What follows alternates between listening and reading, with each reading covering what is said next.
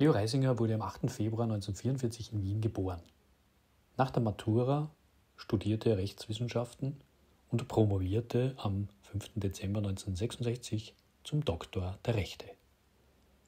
Nach einer Assistententätigkeit am Institut für Statistik der Universität Linz wechselte Reisinger mit 1. Oktober 1968 an das Institut für Statistik an der Universität Wien.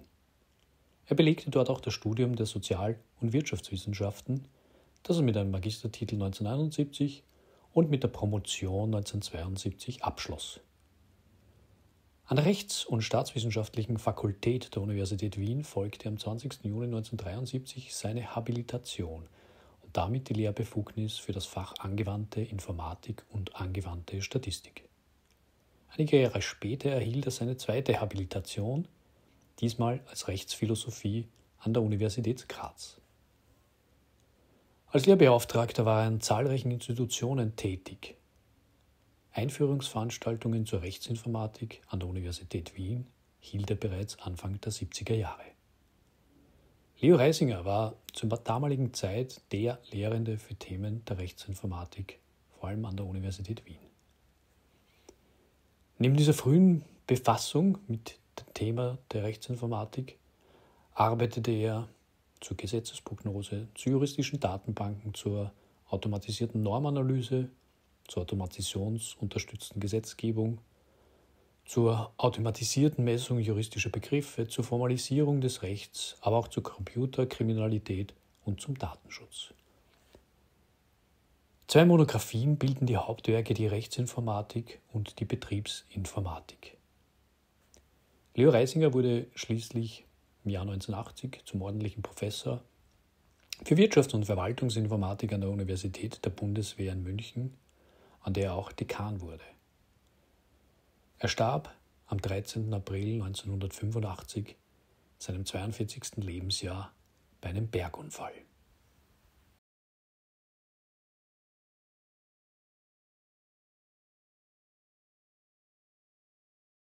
Darf ich Ihnen allen einen schönen Nachmittag, Abend wünschen. Mein Name ist Markus Holzweber. Ich darf Sie sehr herzlich seitens der Universität Wien, des Postgraduate Centers und des Universitätslehrgangs Informations- und Medienrecht herzlich hier begrüßen. Meine Rolle hier wäre vor einigen Stunden noch nicht so gewesen, dass ich hier stehe und zu Ihnen spreche. Die Grußworte hätte eigentlich Professor Forger, der Lehrgangsleiter, machen sollen der mir in der Früh aber mitgeteilt hat, dass er krankheitsbedingt leider nicht kommen konnte, wie ein paar andere, die sich entschuldigen haben lassen. Er hat sie sich aber nicht nehmen lassen, ein paar Grußworte äh, online zu uns zu sprechen. Insofern äh, ist er auch hinter mir hier schon zu sehen.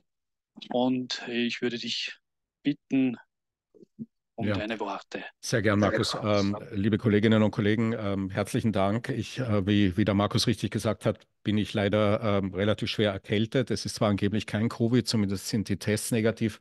Aber ich will Ihnen auch nicht zumuten, äh, sich von mir eine ordinäre Erkältung zu holen und die würde ich Ihnen wahrscheinlich übergeben, wenn ich jetzt da wäre.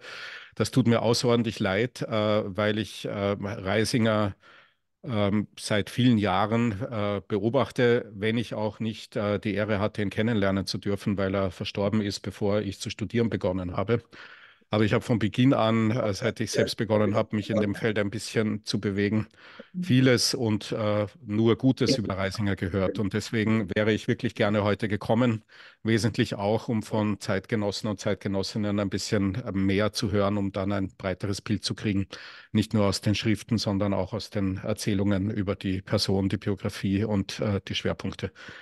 Ich bin aber da. Ich werde auch die ganze Zeit hier sein und äh, möglichst wenig stören, aber intensiv zuhören.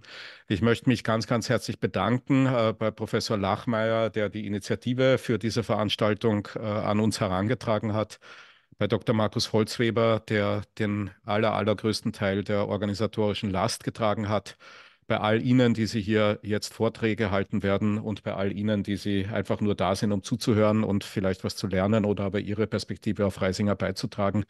Der Umstand, dass wir doch recht viele Anmeldungen bekommen haben, zeigt, äh, dass es auch an solchen historisch grundlegenden Fragen ein breites Interesse nach wie vor gibt und nicht nur an denen, die halt jeden Tag irgendwie in der Zeitung stehen und vor drei Jahren vielleicht äh, weiß nicht, äh, Big Data geheißen haben und heute KI heißen und äh, wer weiß, was die nächste Mode sein wird, die durchs Dorf geht.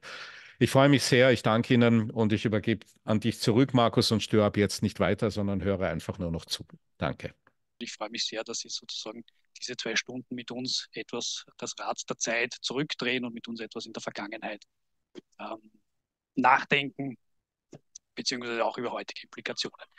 Äh, die Kurzvorträge beginnen wir äh, mit,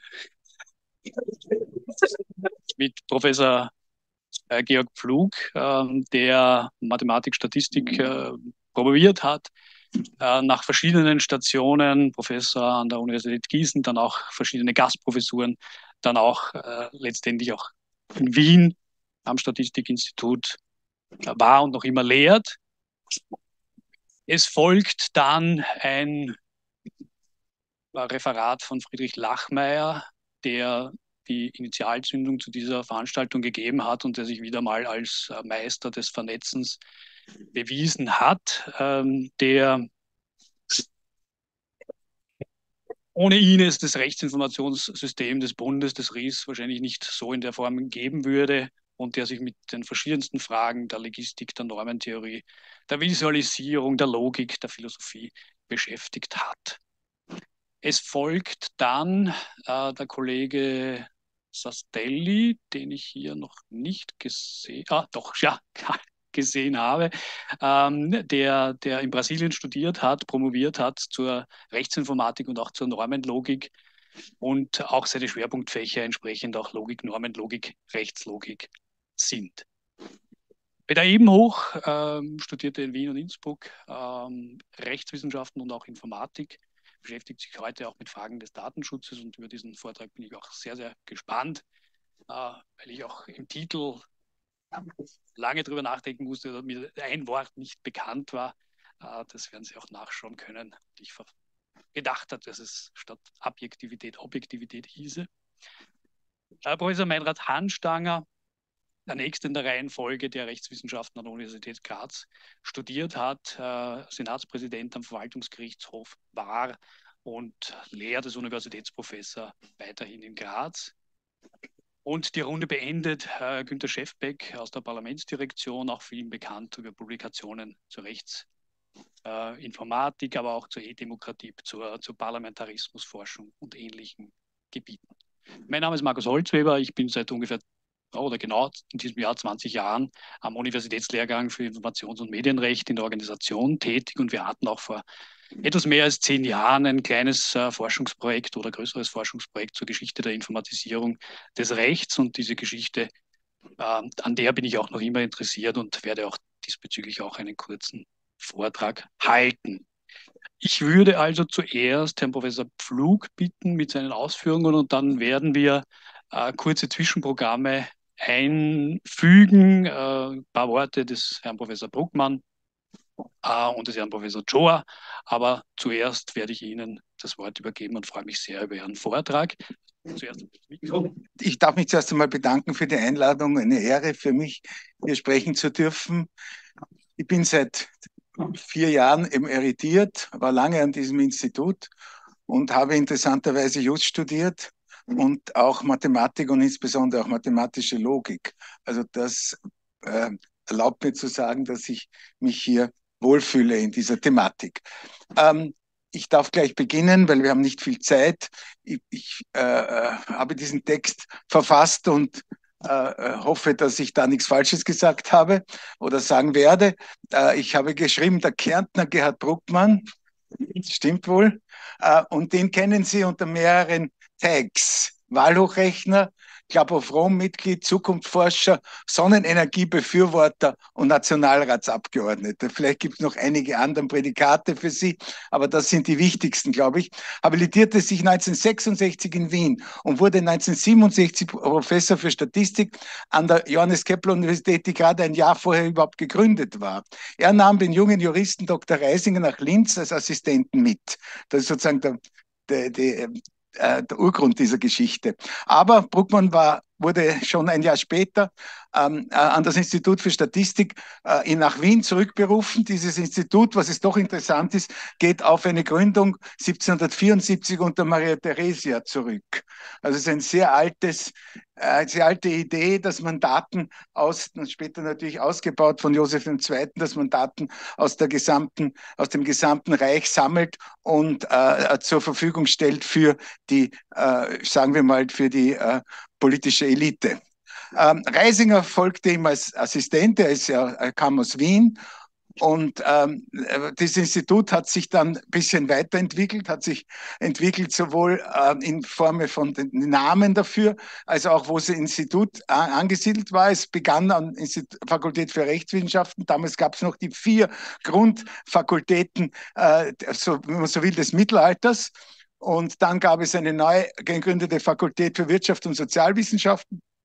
Die wurde umbenannt in Fakultät für Wirtschaftswissenschaft und Informatik und heißt heute Fakultät für Wissenschaften und Statistik. Ich habe mir erlaubt, äh, äh, kurz die Lehrtätigkeit und die Publikationstätigkeit überblicksmäßig Ihnen vorzutragen. Ich glaube, ich brauche nicht im Einzelnen darauf eingehen. Was ich gemacht habe, ist alles, was Statistik betrifft, rot.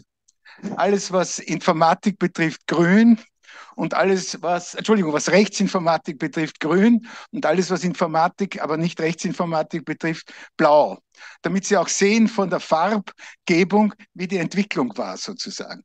Natürlich hat es angefangen damit, dass äh, äh, Leo äh, gelesen hat, äh, Übungen zur Statistik. Damals ist das, vielleicht schaut das so aus, ob er sehr wenig gemacht hätte, man muss aber dazu sagen, dass er auch an anderen Instituten Statistikkurse gegeben hat. Damals war das sehr wichtig. Viele Institute haben gesagt, wir brauchen einen Statistikkurs, weil wir Daten sammeln und so weiter. Und da hat sich der Leo damit engagiert, äh, auch dort ähm, äh, Vorlesungen zu halten. Ich sage aber nur die Vorlesung, die am Institut für Statistik gehalten hat. Und da sehen Sie, da hat es einmal Statistik angefangen und im Wintersemester 71 hat er dann äh, den ersten Schritt gewagt und hat eine Vorlesung gehalten für Einführung in die Rechtsinformatik, die dann immer wieder ähm, wiederholt wurde. Dann ein Seminar aus Rechtsinformatik. Und wie Sie sehen, habe ich das auch so gemacht, dass Sie sehen, das war ein gewisser Dr. Leo Reisinger. Dann gab es einen Dr. Dr. Leo Reisinger. Äh, der hat inzwischen hier eine Dissertation verfasst, von der ich leider Gottes, vielleicht weiß es hier in diesem Raum, sie nirgends gefunden habe. Ich habe auch in der Nationalbibliothek nachgesehen und habe nichts gefunden. Also würde mich interessieren, wie diese, was diese Dissertation beinhaltet hat. Die zweite in Sozialwissenschaften, Wirtschaftswissenschaften. Und Sie sehen, ab 73 heißt es dann, und jetzt Dozent, das alles aus den Vorlesungsverzeichnissen und da kommt auch zum ersten Mal etwas Blaues vor, dann etwas Rotes und etwas äh, Blaues wieder. Und Sie sehen, das geht hier so weiter, dass man also immer eine Mischung äh, äh, von diesen Themen äh, hatte. Hat aber also ziemlich breit natürlich, hat also Statistikdinge gemacht, Rechtsinformatik als sein äh, eigentliches Steckenpferd und dann halt in allgemeine Informatik oder angewandte Informatik. Und äh, dann hier steht also ab 76 heißt dann Sozialen Wirtschaftswissenschaften, da hat er Statistik gelesen, aber auch Unternehmensforschung, was man jetzt als Operation Research bezeichnet. Und Sie sehen die ganzen Vorlesungen, die immer blauer und blauer werden, also die in die Richtung Richtung von angewandter Informatik gegangen. Und wenn Sie sich jetzt, aha, das geht so weiter bis eben äh, das der letzte Eintrag, den ich gefunden habe,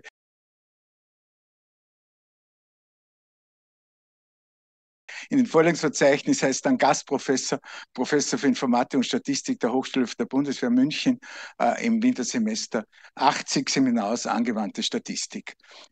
Ähm, dazu parallel sozusagen die Publikationstätigkeit, die sieht aber ein bisschen anders im Farbenspiel aus.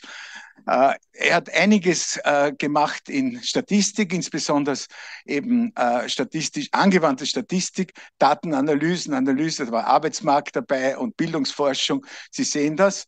Und ähm, aber gleich schon Beginn auch sehr viele Publikationen in in Rechtsinformatik. Und ich möchte auf eines hinweisen, das ist dieses, das I Ging, eine formal wissenschaftliche Untersuchung des chinesischen Orakels, ähm, äh, das ich angeschaut habe und gelesen habe. Und ich finde es ganz nett, wenn ich Ihnen etwas vorlese. Nämlich im Vorwort schreibt er, als eigentlicher Vater dieser Arbeit ist jedoch Professor Gerhard Bruckmann vom Statistischen Institut der Universität Wien anzusprechen, der in verständnisvoller Weise auf jenen beträchtlichen Teil meiner Arbeitszeit verzichtete, der für die Fertigstellung dieser Arbeit notwendig war.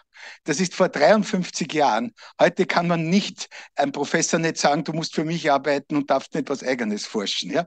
Aber damals war das, und Herr Bruckmann war für seine Großzügigkeit damals bekannt, war das sicher kein Problem für Leo Reisinger, dass er an seiner Arbeit gearbeitet hat, auch unter Bruckmann.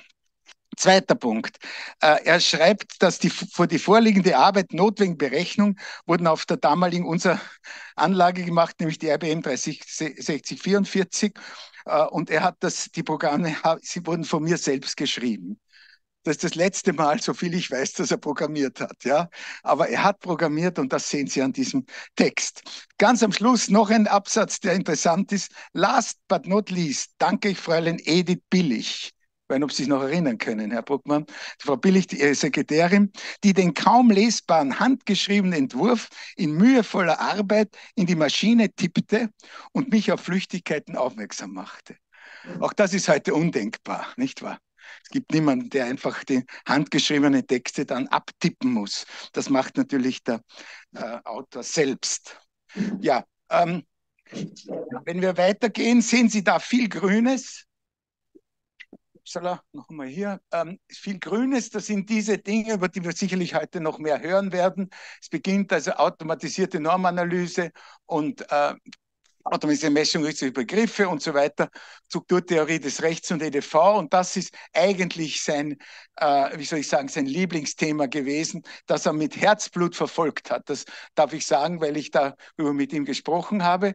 Ähm, äh, das ja, immer wieder dann, Sie sehen, da ist auch wieder eine statistische Untersuchung, aber dann geht es weiter mit Grünem und ab und zu kommt auch Blaues hinein, Grundbegriffe, äh, Systeminformationswissenschaften, ein Buch über Betriebsinformatik. Und hier erlaube ich mir eine Bemerkung, ähm, äh, fassen Sie es nicht falsch auf, aber wenn man das liest hier, merkt man, dass das mit viel weniger Herzblut geschrieben ist als die Rechtsinformatik.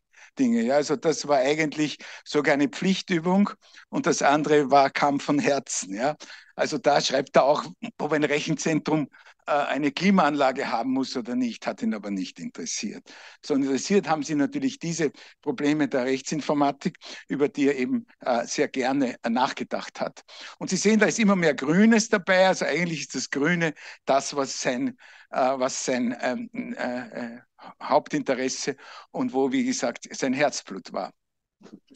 Ich habe noch eine letzte Bemerkung dazu, äh, nämlich, dass der, so glaube ich es, dass der Wiener Boden äh, doch eine sehr passende Umgebung war für solche Arbeiten.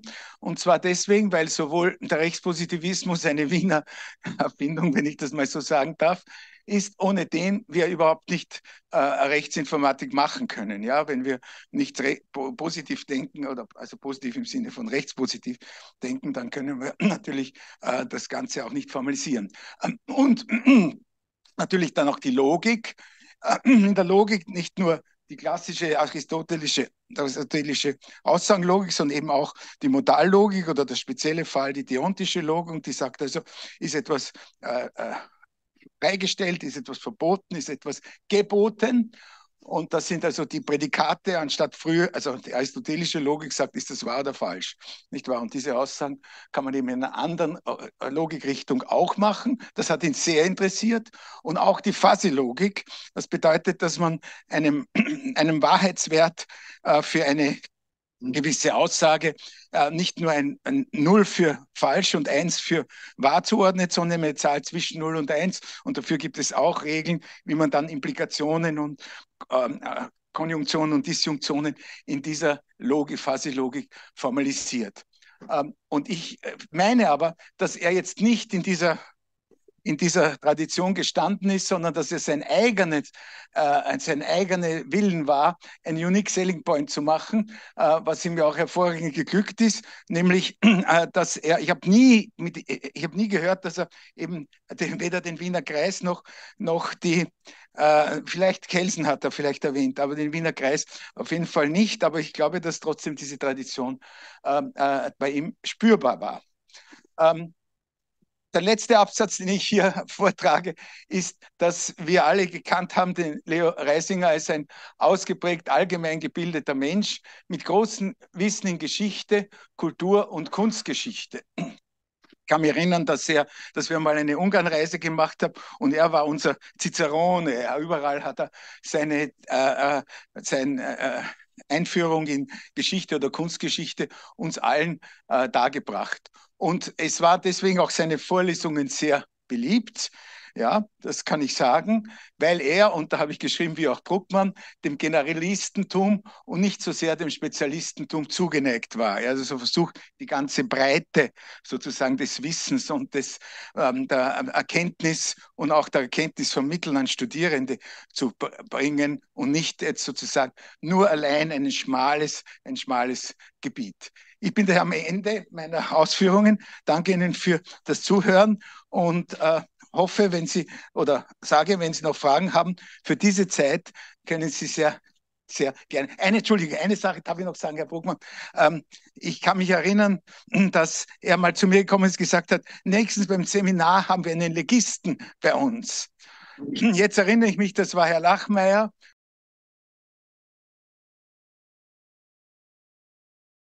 Und ich bin hingegangen zum Seminar. Ich habe gedacht, den möchte ich kennenlernen, der verantwortlich ist für die Texte, die wir als Juristen lernen müssen. Und das ist auch tatsächlich passiert. Und das, das, an das kann ich mich noch ganz deutlich erinnern. Dankeschön. Es sei mir verstattet, äh, zwei Sätze hinzuzufügen. Nicht zur Statistik, sondern zur Informatik, paradoxerweise. Ähm, zu der Zeit, als Leos Habilitationsvortrag anstand, hatte sich unter den ehrenwerten Professoren der juridischen Fakultät eine Phalanx gebildet von äh, Persönlichkeit, die einen abgrundtiefen Hass auf alles entwickelten, was auch nur irgendwie am Rande mit Rechtsinformatik zu tun haben konnte äh, ein abgrundtiefer Hass, wie ich ihn in meinem Leben sonst nur in einem anderen Gebiet immer wieder kennengelernt habe, bei Professoren der, Jurid der medizinischen Fakultät gegenüber alternativen Methoden. Wie gesagt, ein blinder Hass. Und Leo kam zu mir und sagte, was soll ich tun in dieser Situation? Ich gesagt, Leo, eine Möglichkeit besteht darin, dass du in deinem Habilitationsvortrag ein paar Bereiche auswählst, in denen die Rechtsinformatik nützlich sein könnte. In jedem dieser Bereiche skizzierst du äh, die Aufgabenstellung und die Methodik dieses Bereiches und fügst aber unmittelbar daran äh, hinzu, welche negativen Begleiterscheinungen denkbar wären, welche allenfalls sogar Gefahren. Und das machst du von, äh, für einige, wie gesagt, Bereiche für die, für die Rechtsinformatik. Jeweils äh, Positives und Negatives verbal gleichgewichtig nebeneinander gestellt. Das hat Leo getan. Und damit war jedwedem Verlangen nach einem allfälligen Ostrakismus der Boden entzogen und die Sache ist glatt über die Bühne gegangen. Was hier ein bisschen vielleicht vernachlässigt wurde, ist äh, Reisinger als, als Pionier der Wirtschaftsinformatik. Da hat er auch ein bahnbrechendes Paper geschrieben, wo er drei Punkte angeführt hat. Weil ich nicht vorbereitet bin, weiß ich nicht mehr, was die ersten zwei Punkte waren. Aber der dritte Punkt war sehr wichtig, nämlich die Betrachtung des Betriebes als Informationssystem. Das zu einer Zeit, wo das noch überhaupt nicht äh, Ziel der Wirtschaftsinformatik war. Insofern äh, Jetzt ist es fast trivial. Wir arbeiten alle mit SAP, wir haben äh, E-Government. All das wurde hier genau beschrieben, also wie man Formularflüsse machen könnte und so weiter. Äh, weil der Kollege Becker vom Ministerium da ist, das hat mich damals auch inspiriert, zu sagen, okay, an sich könnte man das Stipendienwesen als solches äh, vielleicht modellieren. Und das Ergebnis war, jawohl, das kann man totally, hundertprozentig. Das Problem ist nur natürlich das Dat Datenschutz, also dass man damals, das war ja 30 Jahre her, äh, wir, wir haben auch Prototypen damals gemacht und man hat gesehen, das geht. Das einzige Problem war, darf man Zugriff haben zu den Noten, darf man Zugriff haben zu den Einkommen, alles, was jetzt E-Government heißt. Also das wollte ich nur sagen. Und da war Reisinger wirklich ein Bahnbrecher, weil hier reden wir alle nur über Rechtsinformatik. Ich glaube, sein mhm. Beitrag zur Wirtschaftsinformatik hätte uns noch viele Sachen erwarten können. Leider äh, ja, durch sein plötzliches Ableben war das äh, nicht möglich. Äh, und er war, wie gesagt, sehr, sehr offen kulturell, haben wir schon gehört. Ich kann mich erinnern, mit, mit welcher Begeisterung er über die äh, ja, Jiddisch-Studenten, den Dozenten allerhand, er hat dann immer wieder erzählt, was er da gehört hat äh, beim Kollegen Allerhand. Also das sagt alles und auch, um zu sagen, er war ein Attraktor für äh, für brillante Studenten. Man kann verschiedener Meinung sein über Viktor Klima zum Beispiel. Viktor Klima hat nicht ohne Grund ihn als Betreuer ausgesucht ja, und praktisch über also die, die Telekommunikation im Internet dann seine Diplomarbeit geschrieben. Also Reisinger war eine wirklich eine große Persönlichkeit und ich kann mich noch gut erinnern, wie ich in seiner Villa in Burgersdorf da eingeladen worden bin. Also an seine Rede und so, das, das führt alles viel zu weit. Aber ich wollte nur sagen, also Reisinger sollte man von meiner Sicht aus gesehen nicht nur als Rechtsinformatiker, was auch wichtig ist, sehr, sehr, sehr wichtig, aber auch als Wirtschaftsinformatiker nicht vergessen. Er war ein Pionier der Wirtschaftsinformatik. Dankeschön. Ja, wir haben so ein Programm für die vier Grundrechnungsarten einprogrammiert und Herr Reisinger wird das jetzt vorführen. Noch immer ist die Zeichnung, aber es wurde schon auf M gedrückt und wir sehen bereits Mathematik Test. Es gibt sieben mögliche Problemstellungen, nur Additionen, nur Subtraktionen und so weiter und als siebente Stufe eine Kombination aller. Wir sind mutig, wir drücken gleich den Siebener und erhalten die Frage, die obere Problemschranke. Diese dient dazu, um anzugeben, wie groß die Zahlen sein sollen. Wir sind noch nicht sehr sicher in den Grundrechnungsoperationen und werden daher eher nur eine kleine obere Schranke eingeben, zum Beispiel 10. Und es kommt schon das erste Problem, das durch einen Zufallsmechanismus hier auf dem Bildschirm gespielt wird. 9 weniger 1 ist gleich Fragezeichen. Das können wir zur Not noch lösen, geben ein 8. Sehr gut, der Computer gibt uns eine gute Zensur und wird sofort schwerer. Er fragt 60 dividiert durch 6. Hier sind wir nicht ganz sicher. Nehmen wir zum Beispiel einmal 12. Sie irren. Probieren Sie es noch einmal. Naja, wenn es nicht 12 ist, vielleicht ist es 15. Fehlschlag. Versuchen Sie es wieder. Geben wir einmal 10 ein. Ausgezeichnet. Und schon kommt die nächste Frage, 8 plus 2. Auf diese Art funktioniert ein derartiges Lernprogramm. Und es wäre durchaus denkbar, ein solches Lern, also eher sollte man sagen Übungsprogramm, auch für viel kompliziertere Fragestellungen, als es die vier Grundrechnungsarten sind, zu konzipieren und eben dann auch zu Hause äh, zum Einsatz zu bringen. Kann das den Lehrer ersetzen? Nun, ich sagte schon, es ist ein guter Kontrolleur, aber ich glaube, dass wie jeder Computer ein Computer nie einen Menschen und hier besonders den Pädagogen ersetzen wird können. Einigen wir uns darauf, dass der Computer den Lehrer zwar nicht ersetzen, aber doch vielleicht ergänzen kann. Jawohl. Äh,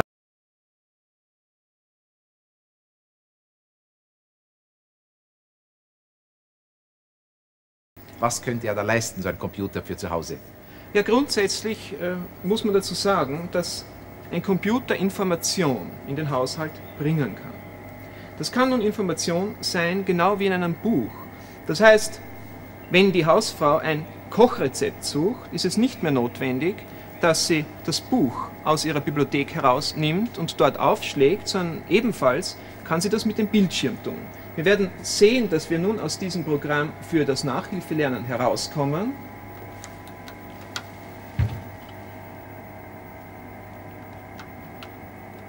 Und äh, das nächste Programm suchen und wir haben ein Programm-Menü. Hier das, sehen wir. Was also jetzt geschieht, ist, dass wir sozusagen ein Kochbuch aufgeschlagen haben. Ja, wir haben ein Kochbuch aufgeschlagen und sehen hier einzelne Kapitel. Speisekarte. Erstens Vorspeisen kalt. Zweitens Vorspeisen warm. drittens Suppen, viertens Fertiggerichte, fünftens frisch gemachte Speisen. Also Leo, was suchen wir uns aus? Naja, ich würde glauben, um richtig einmal zu sehen, was es hier gibt, frisch gemachte Speisen, ist das Richtige. Wir drücken daher auf 5. Tatsächlich, es wird uns angeboten, ein Wiener Schnitzel, ein Cordon Bleu oder Faschiertes. Ihr Wunsch? No. Naja, ich glaube, Wiener Schnitzel ist nicht schlecht. Wir nehmen daher eins und sehen schon, Zutaten für vier Personen, Vorbereitungen sind angegeben, Zubereitung wird angegeben und zum Schluss guter Appetit gewünscht und wie bei einer guten Hausfrau auch die Anzahl der Joule und der Kilokalorien. Ausgezeichnet. Meine Damen und Herren, damit sehen Sie, dass so ein Computer für zu Hause, wenn man ihn einmal hat, auch eine sehr wichtige äh, Fragestellung, nämlich ein Rezept, das man nachschauen möchte und äh, ähm, vielleicht nicht gerade zur Hand hat, erfüllen kann.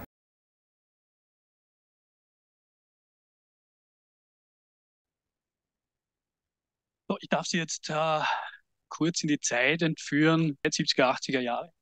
Und ich möchte das tun, hier illustriert am Beispiel von Briefmarken, um zu illustrieren, das, was heute jeder in einer Tasche, Handtasche und noch viel kleiner mit sich trägt, hatte eine sehr, sehr lange, Jahrzehnte lange Entwicklung von entsprechenden Großgeräten bis heute äh, diesen Miniaturausgaben.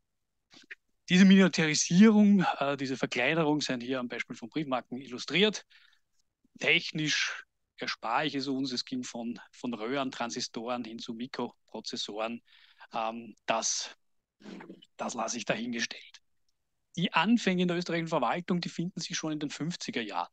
Und genauso wie heute finden sich schon damals Ängste und Befürchtungen auf der einen Seite. Computer nimmt die Arbeitsplätze weg. Auf der anderen Seite Euphorie, Begeisterung. Massenvorgänge lassen sich etwa durch technische Herangehensweise, durch technischen Fortschritt viel, viel besser bewerkstelligen als mit der Hand und Papier und Bleistift. Und so kam es, dass im Jahr 59 auch im Bundesrechenzentrum die, die EDV-Anlagen Einzug hielt. Und das war durchaus ein einprägsames Erlebnis, das hier vom, vom damaligen Leiter in Empfang genommen wurde.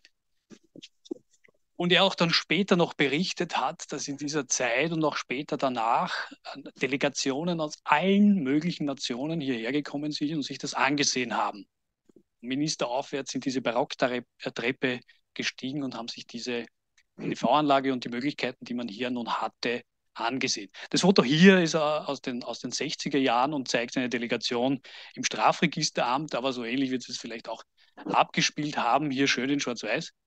Und was als Historiker besonders interessant ist und was nicht erforscht wurde, bislang meines Wissens nach, ist äh, die Rolle, die die Frauen damals eingenommen haben, die umgelernt haben in Locherinnenkurse und sozusagen diese ganze Maschinerie auch aufrechterhalten haben. Also hier gibt es durchaus Forschungsdesiderate.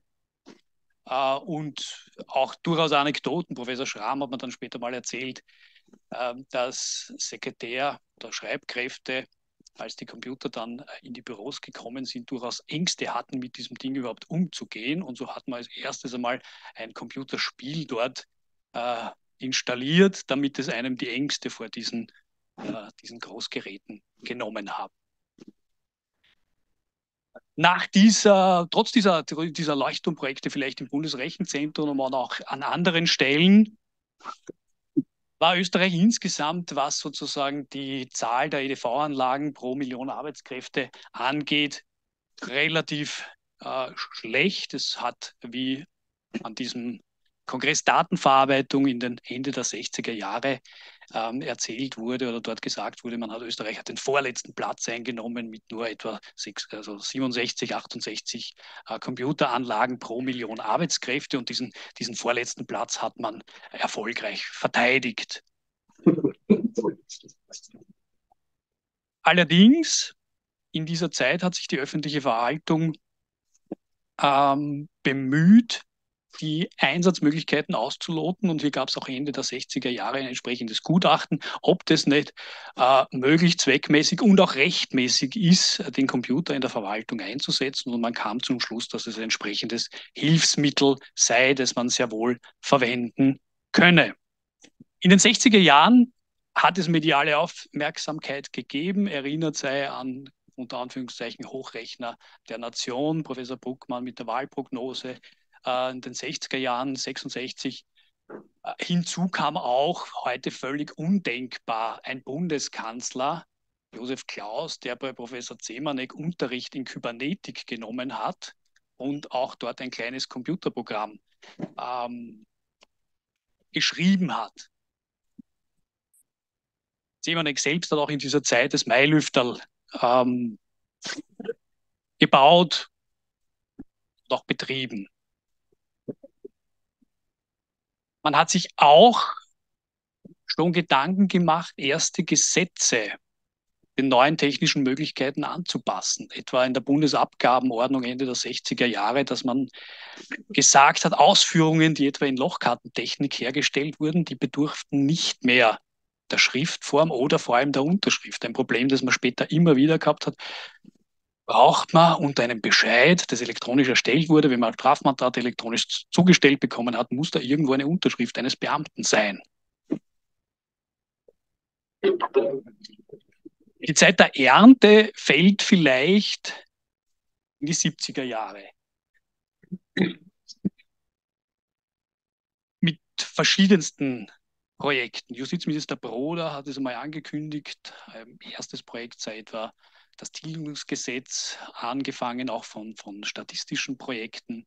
Dann natürlich Dokumentationsprojekte, Rechtsdokumentationsprojekte und Umstellungen etwa von den Grundbüchern, Handelsregistern und dann natürlich auch entsprechendes Gerichtsgebührenwesen, das man automatisieren könne.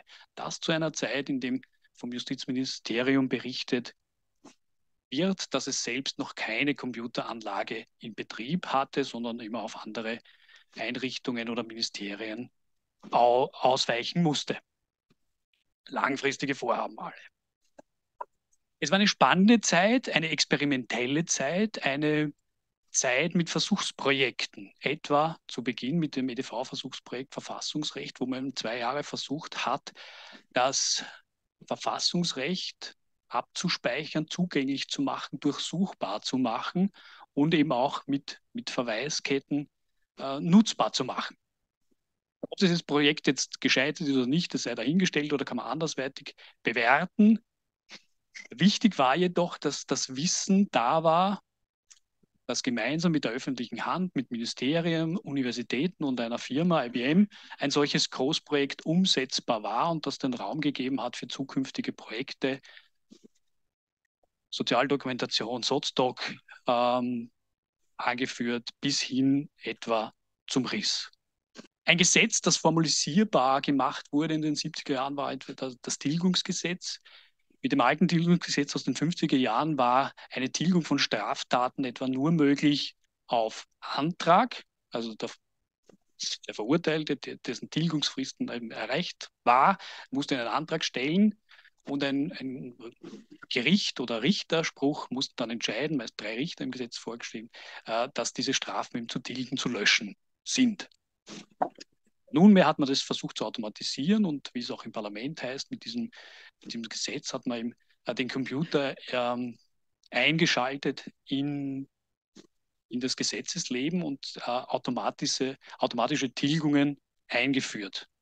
Damit einhergehend war natürlich die Angst und Befürchtung gleich einhergehend, ersetzt der Computer den Mensch, ersetzt der Computer auch den Richter, gibt es einen automatisierten Richter, der dann über uns alle entscheiden wird. Argumente in der damaligen Zeit war, Computer ist äh, etwas, das ein, ein, Gerät, das nach logisch-mathematischen Gesichtspunkten entscheidet und einen, einen, Richter nicht ersetzen kann, der entsprechend einen Ermessensspielraum hat und eine Willensentscheidung hier trifft. Zusammenhängend damit waren Aspekte der Sprache verbunden.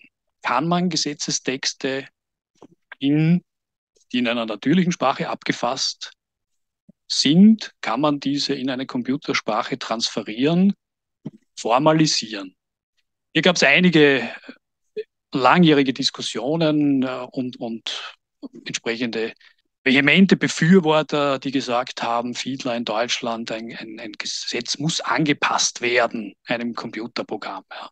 Reisinger war etwas moderater und hat ihm versucht, Verfahren zu suchen, wie man eben eine natürliche Sprache am besten in diese Computersprache transferiert. Und Problem war natürlich die, oder sind immer noch in der Gesetzessprache vorherrschenden äh, Bestimmungen, wie dass etwas maßgeblich ist oder dass etwas einen Ermessensspielraum, einen Richter äh, erlaubt, ähm, die eben nicht so leicht von einem Computer in 0 und 1 zu übersetzen sind. Zentral in den 70er Jahren war die Diskussion um ein Datenschutzgesetz, um den Schutz der Daten, das ähm, die Anfänge reichen schon in den 60er Jahren zurück, um, als es ging, Persönlichkeitsrechte zu wahren. Aber man erkannte dann in den 70er Jahren, dass, mit, dass diese Daten und diese Datenbanken, die im Entstehen waren, man konnte die damals an ein paar Händen abzählen. Ja? Äh, es gab Datenbanken im, im, Passwesen, im Meldewesen, ähm, gerade auch für den Bereich der Sozialversicherung, sodass auch in den Zeitungen gesprochen wurde, dass 90 Prozent der Österreicher in der damaligen Zeit schon computerisiert waren. Und man erkannte, dass hier eine neue Qualität an Datenvernetzung möglich war, die eben nicht mehr durch gängige Praxis lösbar war. Schutz der Daten hat zum Beispiel geheißen, dass man zugesperrt hat, dass man äh, Passwörter vergeben hat, dass Räume sicher gemacht wurden, weil diese Geräte nicht hierher gepasst haben, sondern haben ein Gewicht von einer halben Tonne gehabt. Also mussten die statisch sicher gemacht werden, um hier diese Daten zu schützen. Und man erkannte, dass ihm durch diese Vernetzung, durch diese Datenbankprojekte eben solche äh, Sicherungssysteme nicht mehr ausreichend waren und auch bestehende Sicherungssysteme wie Amtsverschwiegenheit nicht mehr ausreichend waren. Und man hat hier quasi das Jahrzehnt der 70er Jahre bis zum Gesetzesbeschluss 78 äh, parlamentarisch diskutiert. Auf der einen Seite SPÖ, ähm, Staatssekretär Wieselski, auf der anderen Seite von der ÖVP Professor Ermakora, die sich hier einige Duelle auch geliefert haben, parlamentarischen Diskurs, aber am Leben und am Laufen gehalten haben. Und letztendlich hat dann Österreich als neunter Staat weltweit ein, ein solches Datenschutzgesetz mit einem Grundrecht auf Datenschutz erhalten. In der Beurteilung dieser Gesetze fällt auf, dass äh, der Nationalrat damals seine Rolle als Notar, wenn man so will, der Regierungsvorlagen durchwinkt, unterschreibt, beglaubigt, verlassen hat und hier selber gesetzespolitisch tätig wurde, durch verschiedene Enqueten, durch verschiedene ähm, Befragungen von Fachleuten, die es damals sehr, sehr wenig gab. Und einer dieser Fachleute war auch Leo Reisinger, der auch dazu geladen wurde und der zu allen diesen Dingen, die damals diskutiert wurden, von Normenanalyse, von, äh, von logistischen Problemen hin zu ähm, Computerstrafrecht bis hin zum Datenschutzrecht etwas zu sagen hatte.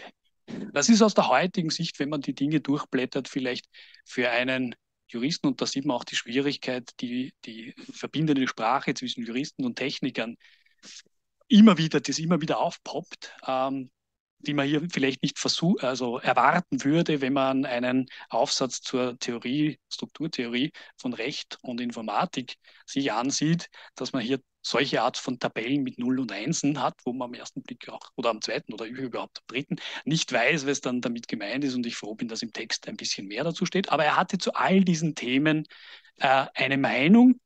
Und abschließend sei gesagt, er hat schon 1971 erkannt, dass man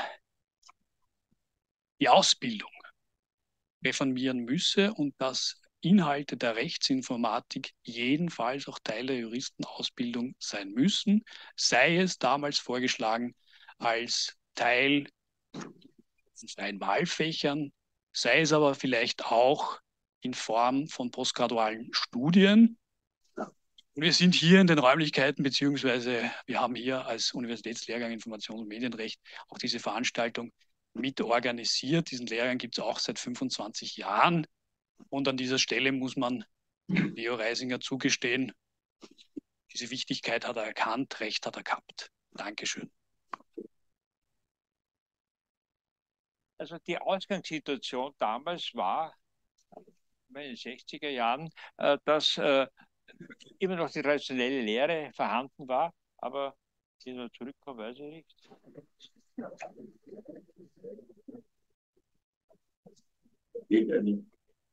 Prima. Also äh, die traditionelle Lehre war vorhanden und dann kam ein ganz wundersames Buch daher, das war die reine Rechtslehre von Hans Felsen. Das hat ein völlig neues Denken mit sich gebracht, nämlich ein, eine Betonung des Formalen und äh, einen völlig anderen Ansatz. Und ich habe das damals als sehr äh, also wundersam empfunden, nämlich hier gleichsam Theorie zu machen, abgehoben von den handwerklichen Alltagszwängen des, der, der Gesetzesinterpretation. Ich komme mit dem nicht, ob man, ja, das gab damals, ich habe noch einen anderen hier gehabt, aber das ist dieser hier. Ja, es gab eben die, der nächste Schritt, der nach Kelsen kam und der dann von den Finnen herkam, von Henning von Brick, war dann die Rechtslogik, sogenannte Rechtslogik. Ob das wirklich eine eigene spezifische Logik ist oder eine Anwendung, das ist nie ganz klar gewesen. Aber Weinberger oder Weinberger hat ein wundersames Buch geschrieben, die Rechtslogik. Und das, was da drinnen steht, ist im Wesentlichen richtig, würde ich sagen, auch heute noch richtig. War ganz, der, er war der Horizont damals in den 70er Jahren. Äh, er war sehr irgendwie konventionell, korrekt, konventionell und das, was er gesagt hat, das hat gestimmt.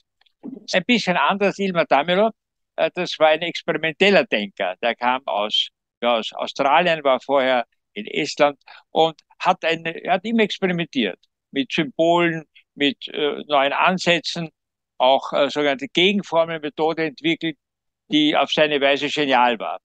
Es gab aber damals einen IBM-Mann, äh, mit dem ich öfters gesprochen hatte, und der hat gesagt, wir haben jetzt äh, auf sein Anliegen hin, haben wir diese Gegenformelmethode programmiert, sagt er. Das funktioniert, eine korrekte Methode. Wir haben Folgendes gemacht, drei Teilen. Wir haben eine Einstiegsmaske gemacht, wo der Professor Damelo seine Gegenformelmethode eintragen kann. Dann nach dieser äh, Eintrittsformel haben wir unser normales Programm genommen, haben das Ganze durchgerechnet, wie wir es immer durchrechnen. Und dann drittens haben wir eine, Ausgabens eine Ausgabemaske gebracht, wieder mit der Gegenformelmethode. Und Professor Damel hat den Eindruck gehabt, ja, es funktioniert. Er konnte eben hier auch seine Ergebnisse in Gegenformelmethode sehen. Ja, äh, das war einerseits sehr kreativ. Damel war Professor in Salzburg und in gewisser Weise war ich da sein Schüler, vielleicht auch experimentell wie immer. Und äh, Weinberger eben in Graz. Die beiden haben ihn habilitiert. Und äh, dann kam eben Leo Reisinger und der hat, der hat zwei Eigenschaften gehabt. Er war eine sehr strahlende Persönlichkeit, wie wir auch gesehen hatten. Er hat Auferstehung von den Toten, gleichzeitig mit dem Sinne, plötzlich ist er wieder da, wundersam.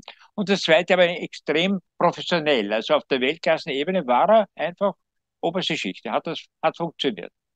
Und er hat auch äh, damals übernommen, dieses System von Alchoron und Poligin, das waren zwei Argentinier, er hat übernommen die Normative Systems und hat das in die Diskussion hineingebracht. Also aus meiner Sicht hat er oder hätte er noch sehr weitgehend im internationalen Bereich Österreich da hineingeführt.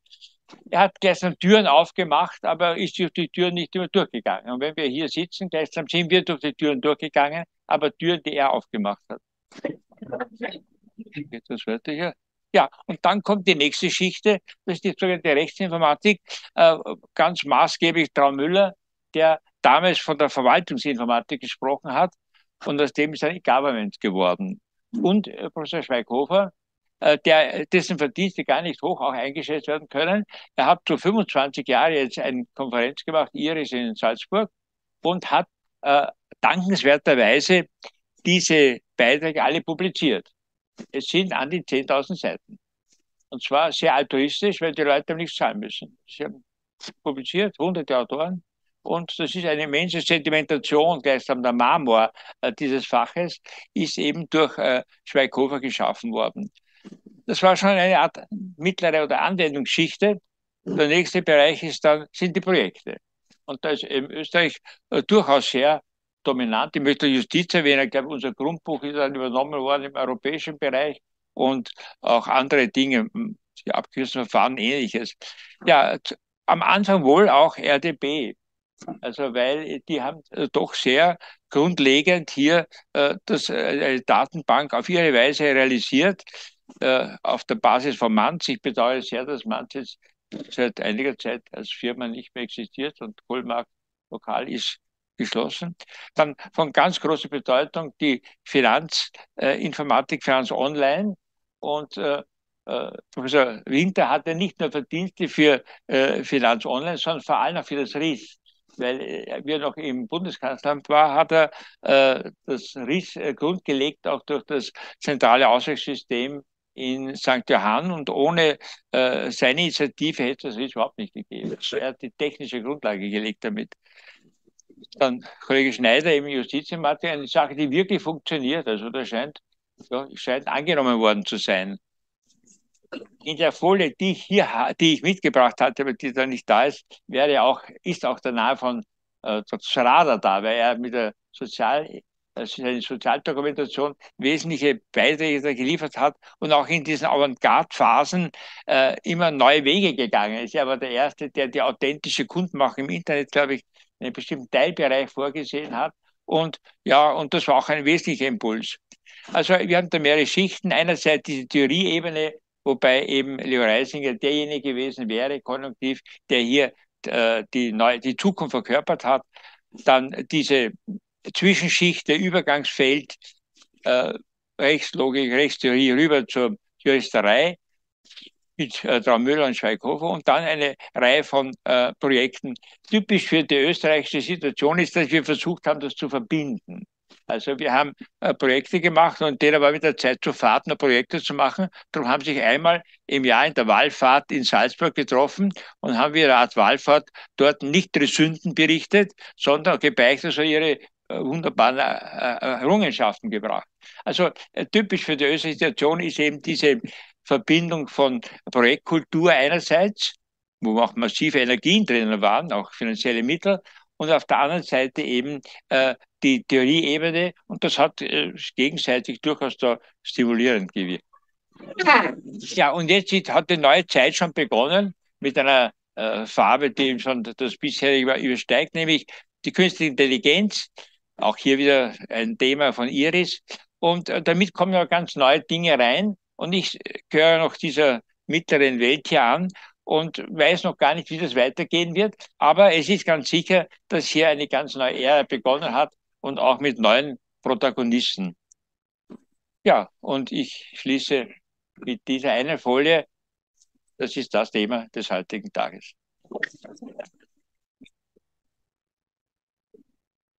Ja, erstmal vielen Dank für die Einladung. Das freut mich sehr, hier sprechen zu dürfen. Äh, zu Leo Reisinger, einer Person, die für meine äh, Bildungsgeschichte in diesem Fach, in der Rechtsinformatik, in der Rechtslogik, in der Normenlogik durchaus sehr prägend war, obwohl ich ihn äh, ja nur durch seine Bücher kennenlernen durfte, teilweise schon äh, relativ früh in meinem Studium der Rechtswissenschaft in Brasilien. Ich erzähle immer die Geschichte. Der Grund, warum ich mich so gut mit diesen Klassikern äh, auskenne, ist, in, in Brasilien sind die Bibliotheken ganz gut, wenn es darum geht, die Klassiker zu lesen. Modernere Literatur findet man nicht immer, aber Zugang zu Otter Weinberger, Ilmar Tamelo und so weiter hatte ich durchaus.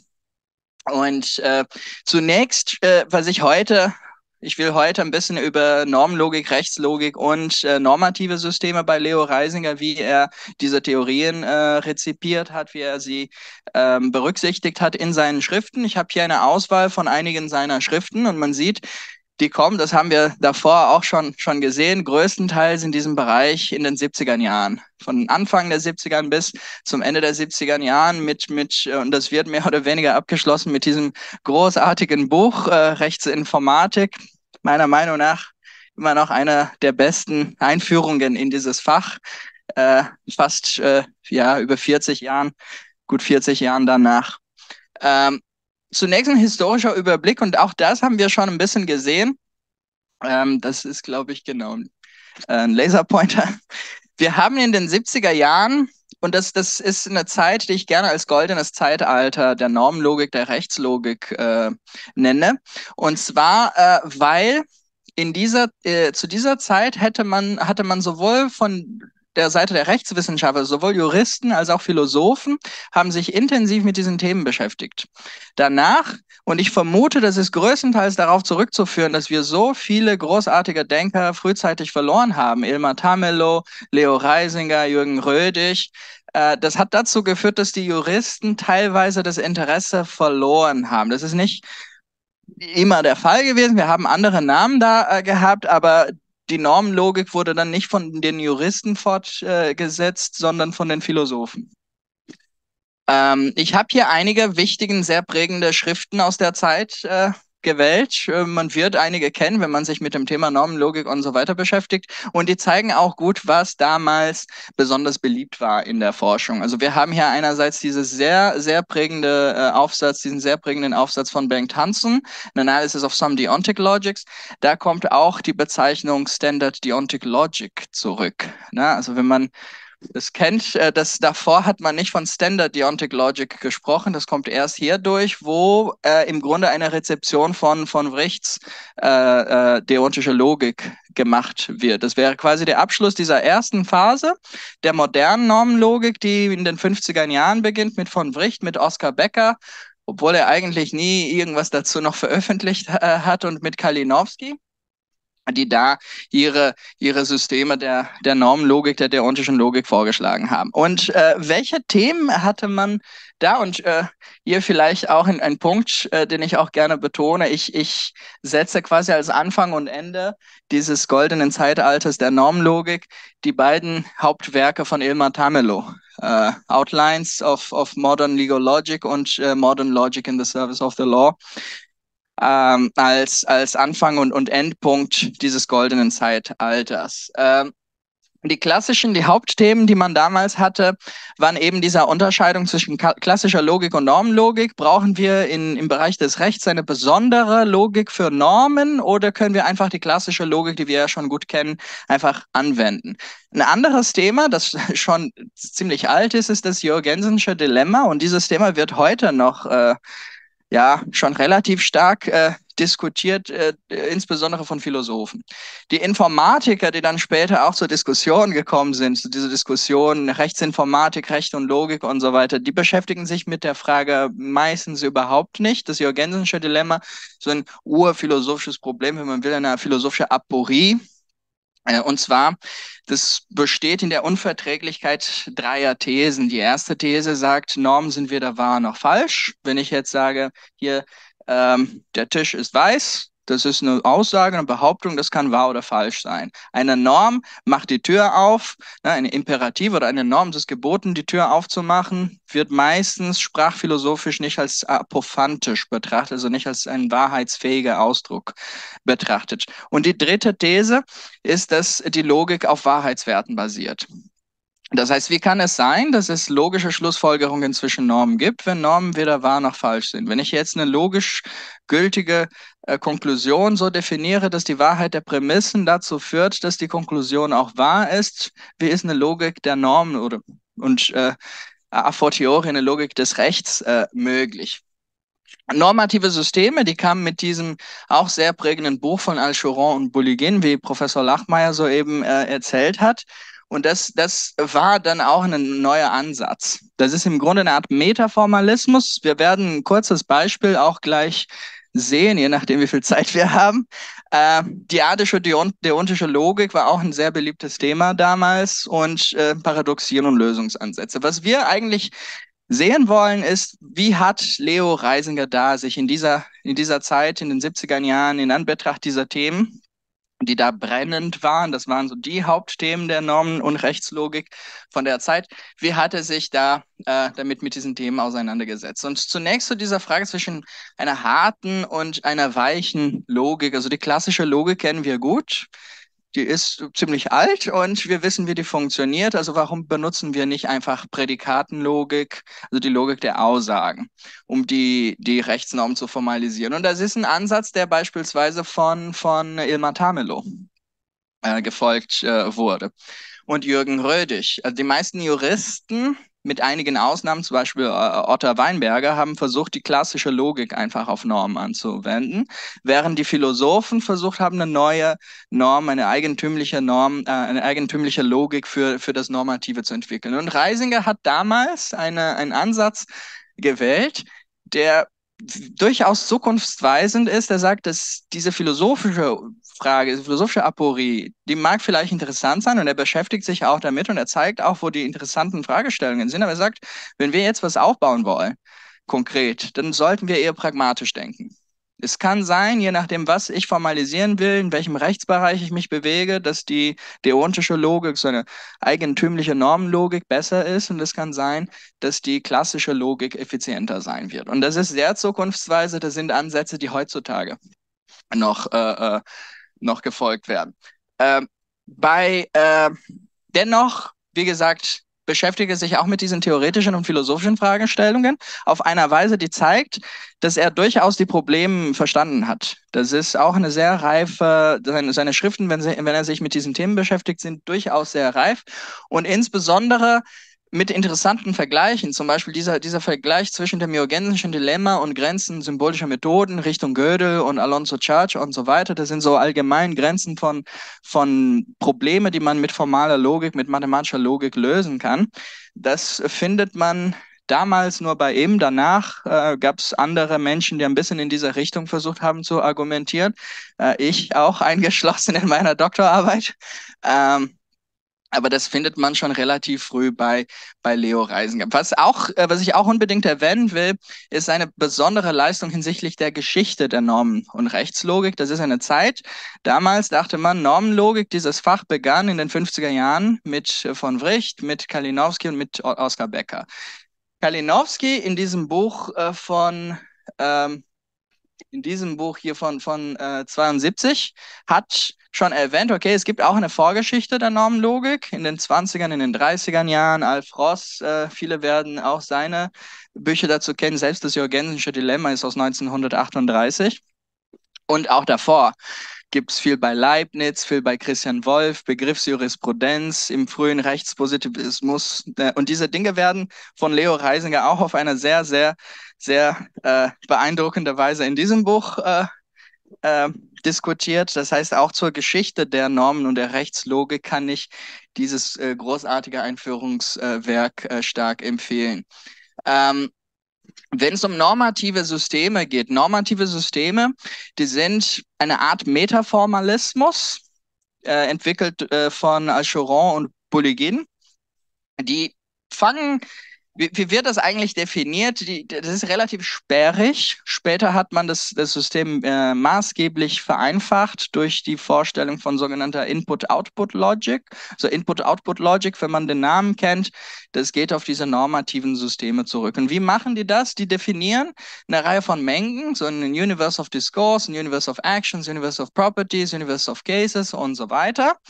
Und äh, die Definition steht ja hier, zum Beispiel Universe of Discourse, Set of all states of affairs, identified by some property und so weiter. Ich werde in Anbetracht der Zeit nicht so tief in die Sache äh, reingehen. Ich wollte nur so ein Beispiel zeigen, wie man das da benutzen könnte. Ne? Das, das Beispiel ist ganz einfach. Man hat hier ein Auto und die Frage ist, darf dieses Auto diesen nicht identifizierten Gegenstand überwinden, indem hier diese Trajektorie, diesen Pfad Tau, äh, das Auto diesen Pfad nimmt. Und äh, wenn man das so kodiert in diesem System, in diesem, in diesem Paradigma von Normative Systems, äh, sieht das so aus. The Universe of Discourse ist der Fall, worum es geht.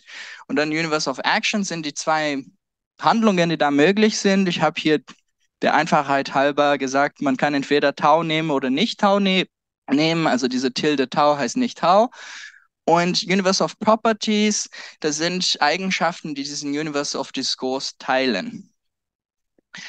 Äh, und man macht es immer so, dass es so eine zweiartige Teilung ist. Das heißt, äh, und was hier steht, ist zum Beispiel, dass O ein Verkehrsteilnehmender, ein Verkehrsteilnehmer ist. Also dieser Objekt O ist ein Verkehrsteilnehmer, zum Beispiel ein anderes Auto, das auch fährt. Oder O ist kein Verkehr, äh, Verkehrsteilnehmer, Tilde O Verkehrteilnehmer und zum Beispiel eine tote Kuh auf der Straße irgendwas, was nicht am, am, Verkehr teilnimmt.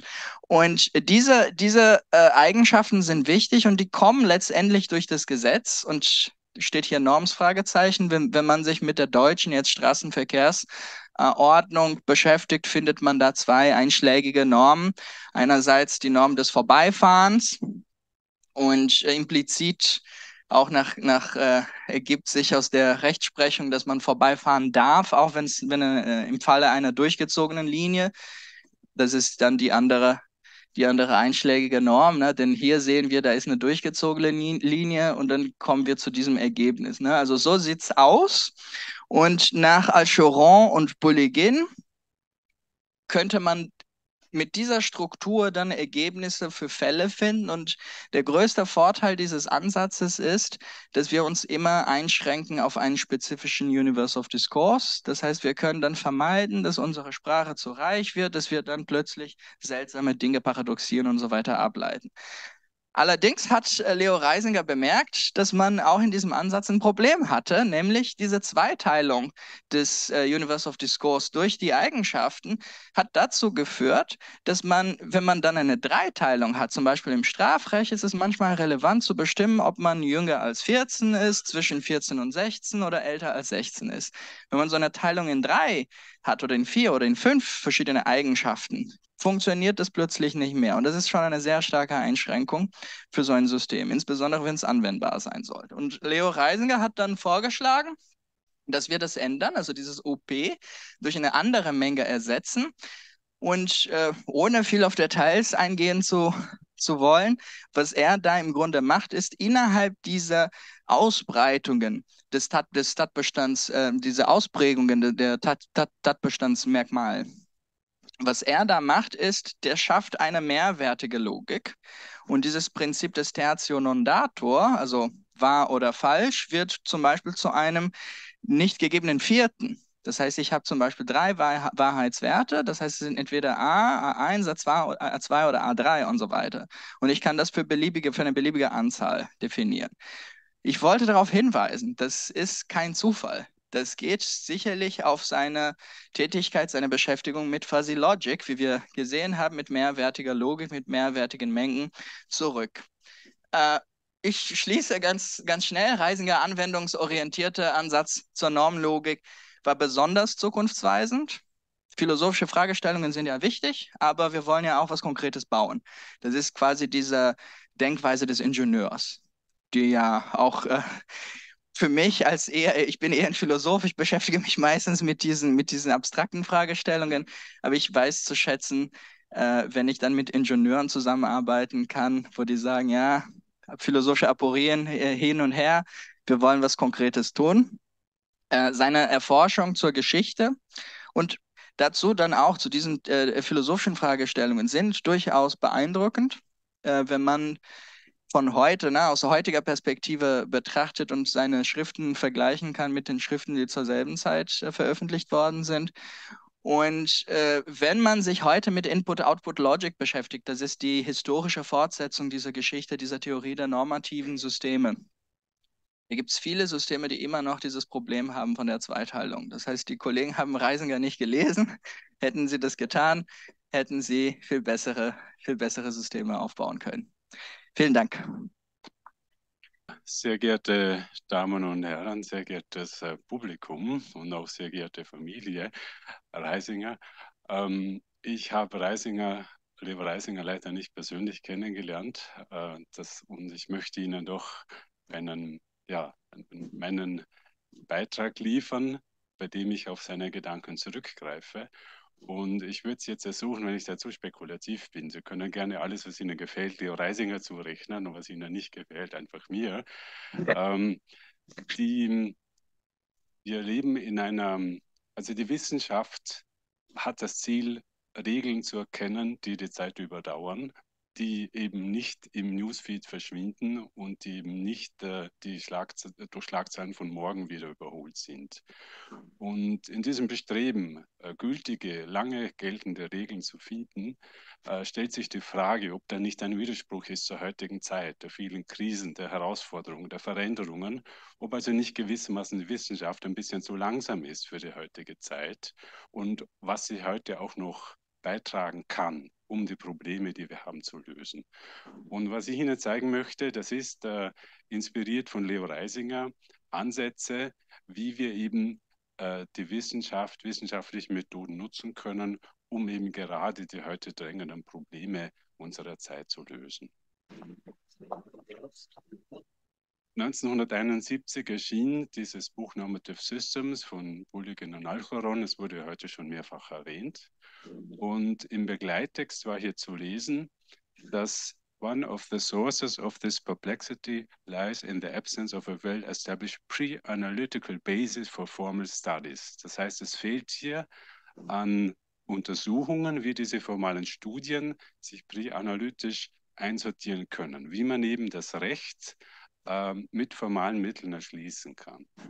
Und das, glaube ich, war wirklich die Aufgabenstellung, auf der auch Friedrich Lachmeier hat uns so schön gezeigt, an der ganze Rechtsinformatik äh, gearbeitet hat, an der sie bis heute arbeitet. Und auch was wir heute als Digitalisierung des Rechts und auch im Rahmen von KI als Probleme sehen, das ist letztendlich vor diesem Hintergrund oder kann vor diesem Hintergrund gesehen werden.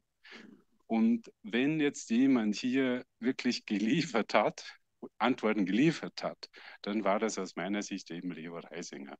Er hat eine Vielzahl von heute noch spannend äh, zu lesenden und sehr tiefgründigen Artikeln geschrieben, die genau in diesem Bereich zwischen Recht, Formalisierung, äh, Klarheit schaffen und die eben ähm, auch diese äh, ganz im Sinne von Kelsen mit dem Rechtspositivismus und der Klarheit, äh, hier als äh, Cover legistische Analyse der Struktur von Gesetzen, zusammen mit Friedrich Lachmeier, einfach Transparenz hineinbringen, die auch durchaus das Bestreben haben, das Recht aus diesem äh, ja, juristischen Eck zu holen, es ins Licht zu holen, transparent zu machen, nachvollziehbar zu machen, aus früheren Herrschaftsansprüchen demokratisch greifbar zu machen.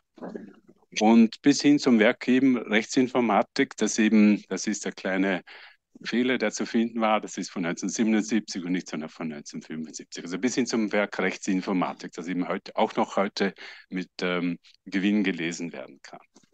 Und alleine hier könnte ich schon aufhören. Wir könnten hier das Över bewundern. Äh, erst recht, wenn man die kurze Wirkungszeit bedenkt, die Leo Reisinger nur hatte. Ähm, es wäre eigentlich schon wirklich ja, eine satte Ernte, könnte man sagen. Das Spannende für mich jetzt ist folgendes, dass Leo Reisinger hier erst so richtig losgelegt hat. Sie sehen jetzt als Hintergrund einen Muskelzellkern eingeblendet und tatsächlich hat er auch an Arbeiten mitgewirkt über die Länge der Arteria lienalis im Angiogramm zum Beispiel. Ähm, oder eben über Muskelzellkerne und Flächendichte nach Ultraschalleinwirkung. Also das sind doch, da fragt man sich ja doch, kann das die gleiche Person sein, die zu diesen Themen auch schreibt? Das ist ja doch vollkommen ein anderes Fachgebiet. Und es geht hier weiter. Also die normativen Systeme haben wir heute schon einiges gehört. Dann eben biologische Systeme, wie ich als zwei Beispiele gebracht habe, aber auch soziale Systeme und dabei auch zum Beispiel some statistical problems of migration, the Austrian case. Also das würde ich heute auch noch super relevant ansehen.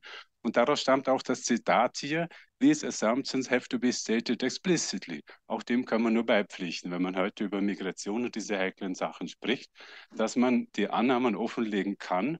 Und wir sehen hier, wie Leo Reisinger unerschrocken seine, diese formalwissenschaftliche statistische Methode eingesetzt hat, um hier Klarheit zu schaffen und um hier einfach ähm, unerschrocken, obwohl es eben äh, ein anderes oder für jedes Fachgebiet ähm, sich dem, diesen Fragen einfach zu stellen. Bis hin ähm, zum, zur Anwendung der Wahrscheinlichkeitsrechnung auf die Notengebung 1971. Könnte auch, wäre auch heute interessant zu lesen, wenn man das heute ähm, anwenden würde. Und das Obskurste, wir haben das heute schon gehört im Einleitungsreferat, ähm, für mich das Obskurte, das I ging, ausgerechnet das Buch der Wandlungen, diese äh, auch Sehnsuchtbibel der Hippies, hätte ich fast gesagt, fernöstlicher Weisheiten, äh, das Buch der Wandlungen, ich meine, ausgerechnet das Buch der Wandlungen als, als Objekt für eine formalwissenschaftliche Untersuchung zu nehmen.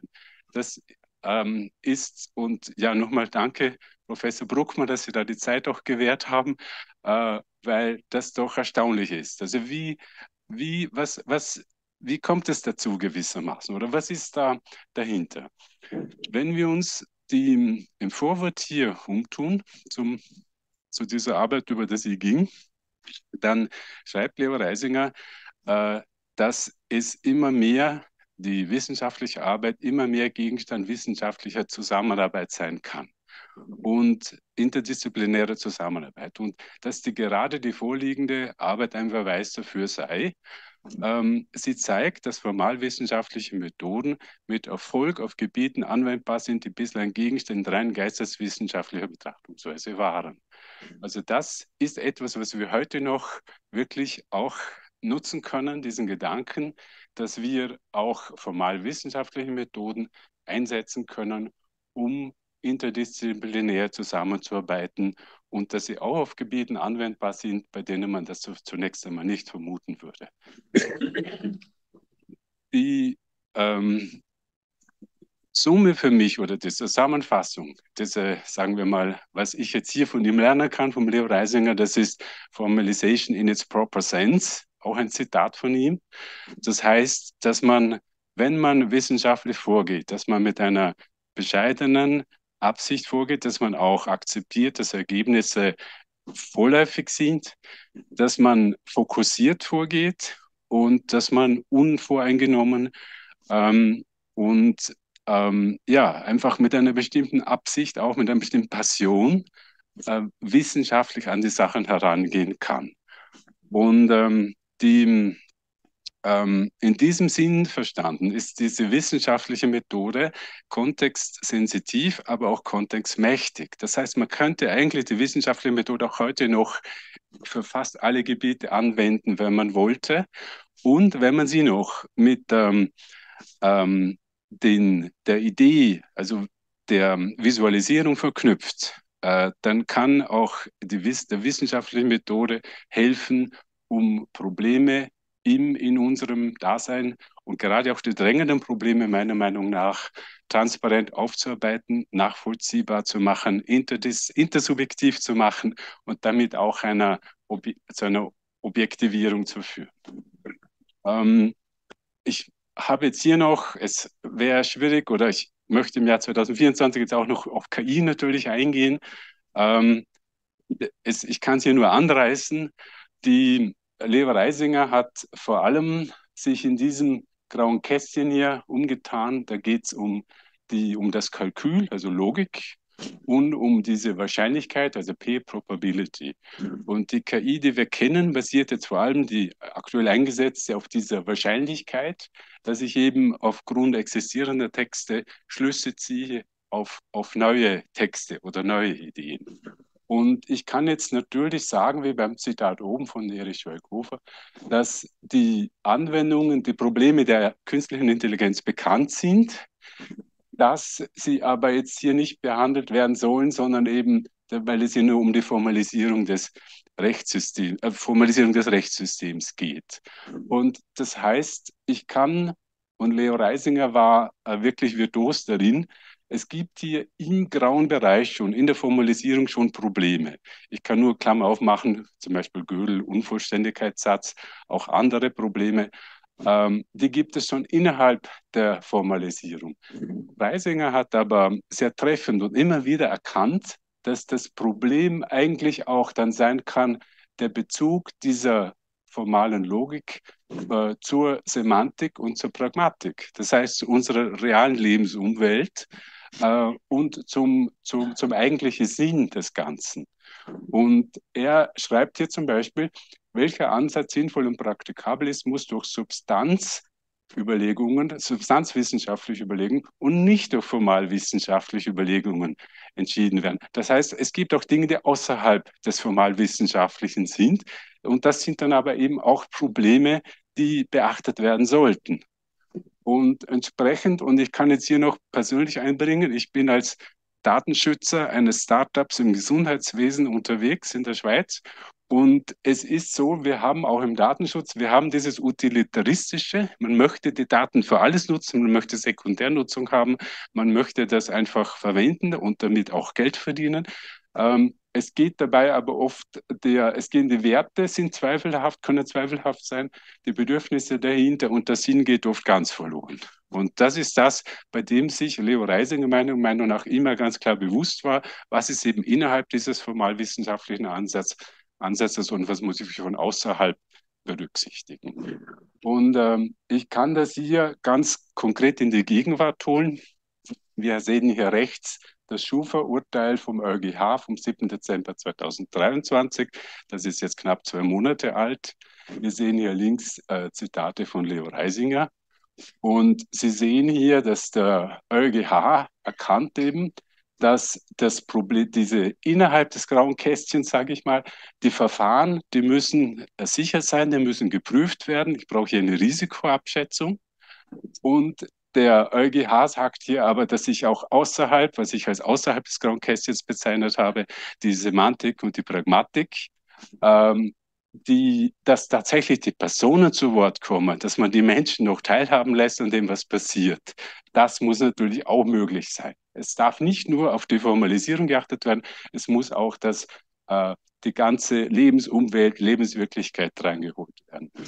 Und entsprechend, das schreibt hier, das muss man halt wissen, was hier gemeint ist. Es ist ein bisschen technisch geschrieben, aber dass der, das Problem der praktischen Anwendung der Phaseset-Theorie ähm, besteht auch in der Definition interpersonale Prozeduren, um die Bedeutung festzulegen. Ich brauche auch tatsächlich menschliche Interaktionen, um hier diese KI erst mit Leben, mit Inhalt zu erfüllen.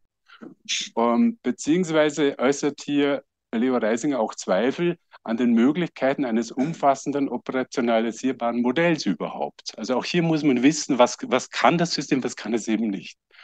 Und zuletzt schreibt er explizit, es handelt sich hier in der Regel bei diesen auch KI-Ansätzen ähm, um Konditionalprogramme. Die pragmatische Dimension wird überhaupt nicht und die semantische nur in Einzelaspekten berücksichtigt.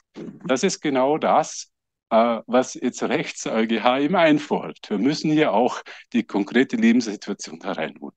Und das ist für mich wirklich bestechend, auch welche Aktualität es hat und was wir hier auch selber mitnehmen können, wenn wir uns mit diesen Fragen eben beschäftigen.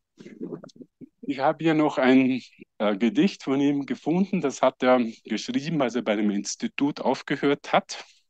Und er hat äh, geschrieben, dass er da offenbar in der Situation als schlaff zurückblieb und stumpf Kaffee sich einverleibt hat. Wer von uns kennt das nicht auch manchmal im Alltag? Und was der, weil man um die Ohren man nur bekommt, was der DV-Anlage frommt. Also was die DV-Anlage liefert, das muss man halt einfach schlucken. Und es belegt uns auch oft das Mittagsbrot. Das heißt, das ist, wir verdienen, wir arbeiten dafür, wir verdienen damit Geld, wir bekommen auch, wir, es wird uns vermittelt, dass eben die, die, die Wirtschaft wächst, wenn wir das tun. Aber ähm, da, das ist ihm dann doch äh, irgendwie taugt ihm nicht. Es wird nun doch Zeit, damals sich aus dieser Rolle verabzuschieden. Also das, also, und das ist auch für mich jetzt der Aufruf. Wir müssen hier nicht alles mithüpfen, was da äh, uns angeboten wird an wohlfeilen Automatisierungsoptionen. Es, äh, wir können uns dann auch verabschieden. Wir müssen nicht alles, was der, der V-Anlage frommt, hier einfach so schlucken. Ja, ähm, noch ein paar Bezugspunkte aktuelle. Und zwar einige Personen, die mir dazu einfallen, mit denen Leo Reisinger meiner Meinung nach auf Augenhöhe war. Das ist äh, zum Beispiel George Spencer Brown mit seinem Buch Wahrscheinlichkeit und Wissenschaft, der sich auch mit der Frage beschäftigt, eben ja, was, wie, wie, wie hängt das eben zusammen? Wie hängt Probability und eben ein logisches Kalkül zusammen? Ähm, spannend auch Donald Erwin Knut, ein großer Ingenieur der, der Informatik, ein großer Professor, der hat auch ein Buch geschrieben, da hat er die Bibel formalwissenschaftlich untersucht, also auch eine ähnliche Idee wie hier bei mir ging, Leo Reisinger. Ähm, über die, was mir noch auffiel, eben über die Werte der Menschen im Kosmos, also die Frage, welche Wertordnungen gibt es, die man auch hier beachten kann. Und als Methoden äh, den Logical Thinking Process, Tunefin Framework, Worldly Maps, und ganz aktuell ist diese Idee der Metamodernity von Hansi Freinach. Das ist ein Pseudonym, deshalb in Anführungszeichen. Also das sind so Denkansätze, wie man eben wissenschaftliche Methoden auch heute noch sinnvoll einsetzen kann, so wie das aus meiner Sicht eben Leo Reisinger uns vorgemacht hat. Und in diesem Sinn, ähm, vielen Dank. Ich hoffe, es waren ein paar Anregungen dabei für Sie. Ähm, ich ähm, habe selber bei der Vorbereitung eine Freude gehabt oder war selber erstaunt zu sehen, wie aktuell diese Themen sind. Und ich glaube, dass wir wirklich auch mehr Wissenschaft im Sinne, im Stile, in diesem passionierten, kontextbezogenen, ähm, in, also intentionalen, aufklärerischen Stile von Leo Reisinger brauchen könnten, weil Probleme haben wir ja genug, die wir gemeinsam lösen können. Vielen Dank. Meine sehr geehrten Damen und Herren, danke vielmals. Ähm, Leo Reisinger, den ich leider nicht kennengelernt habe, hat sich auch mit Gesetzgebungslehre beschäftigt, mit Logistik. Äh, mein Part in diesem Kontext ist äh, eher allgemein über die Gesetzgebung, über Logistik zu sprechen. Äh, Günter Schäfbeck wird dann mehr auf Leo Reisinger eingehen und ich bin schon sehr gespannt. Ähm, die Gesetzgebungslehre wird gelehrt an einigen Universitäten mittlerweile, an einigen rechtswissenschaftlichen Fakultäten. Äh, und äh, sie hat drei Dimensionen. Zentriert ist diese Gesetzgebung, äh, Gesetzgebungslehre, Logistik auf das Gesetz, auf das Pathos, das dem Gesetz innewohnt, nämlich äh, Vernunft und Gerechtigkeit in Einklang zu bringen äh, auf parlamentarischer Ebene in unseren äh, Verfassungssystemen. Äh, die drei Dimensionen betreffen den Inhalt des Gesetzes. Da geht es um die Frage, was, wie äh, wird ein gutes Gesetz entwickelt vom Inhalt her. Das zweite ist der Prozess der Gesetzgebung, äh, vorparlamentarisch, parlamentarisch, nachparlamentarisch. Und das dritte ist die rechtstechnische Gestaltung. Das heißt, äh, wie schreibt man Gesetze? Äh, wie formuliert man Gesetze? Wie systematisiert man Rechtsvorschriften und wie systematis systematisiert man Rechtsordnungen? Wie schafft man es, eine Rechtsordnung halbwegs in eine, wie einen geordneten Garten zu bestellen? das ist Gesetz ist die Drehscheibe zwischen Demokratie und Recht und ist daher eigentlich sehr zentral. Der Begriff Gesetz ist hier in einem etwas weiteren Sinn äh, verstanden. Er äh, erfasst auch die Verfassungen, die Legalisierung, das heißt das, das Vergesetzlichen vom, der, von der Judiziabilität, von der äh, Möglichkeit, äh, Verfassungen als äh, Kontrollmaßstäbe zu verwenden durch Gerichte. Äh, die setzt größer ein nach dem Zweiten Weltkrieg, hat schon eingesetzt nach dem Ersten Weltkrieg, hat Vorläufer in den konstitutionalisierten Systemen vor dem Ersten Weltkrieg. Und insofern ist auch die Verfassung Gesetz in diesem Sinne, äh, wie es hier verwendet wird. Äh, die Rule of Law äh, kennen wir an sich als Rechtsstaatlichkeit unter dem Begriff Rechtsstaatlichkeit.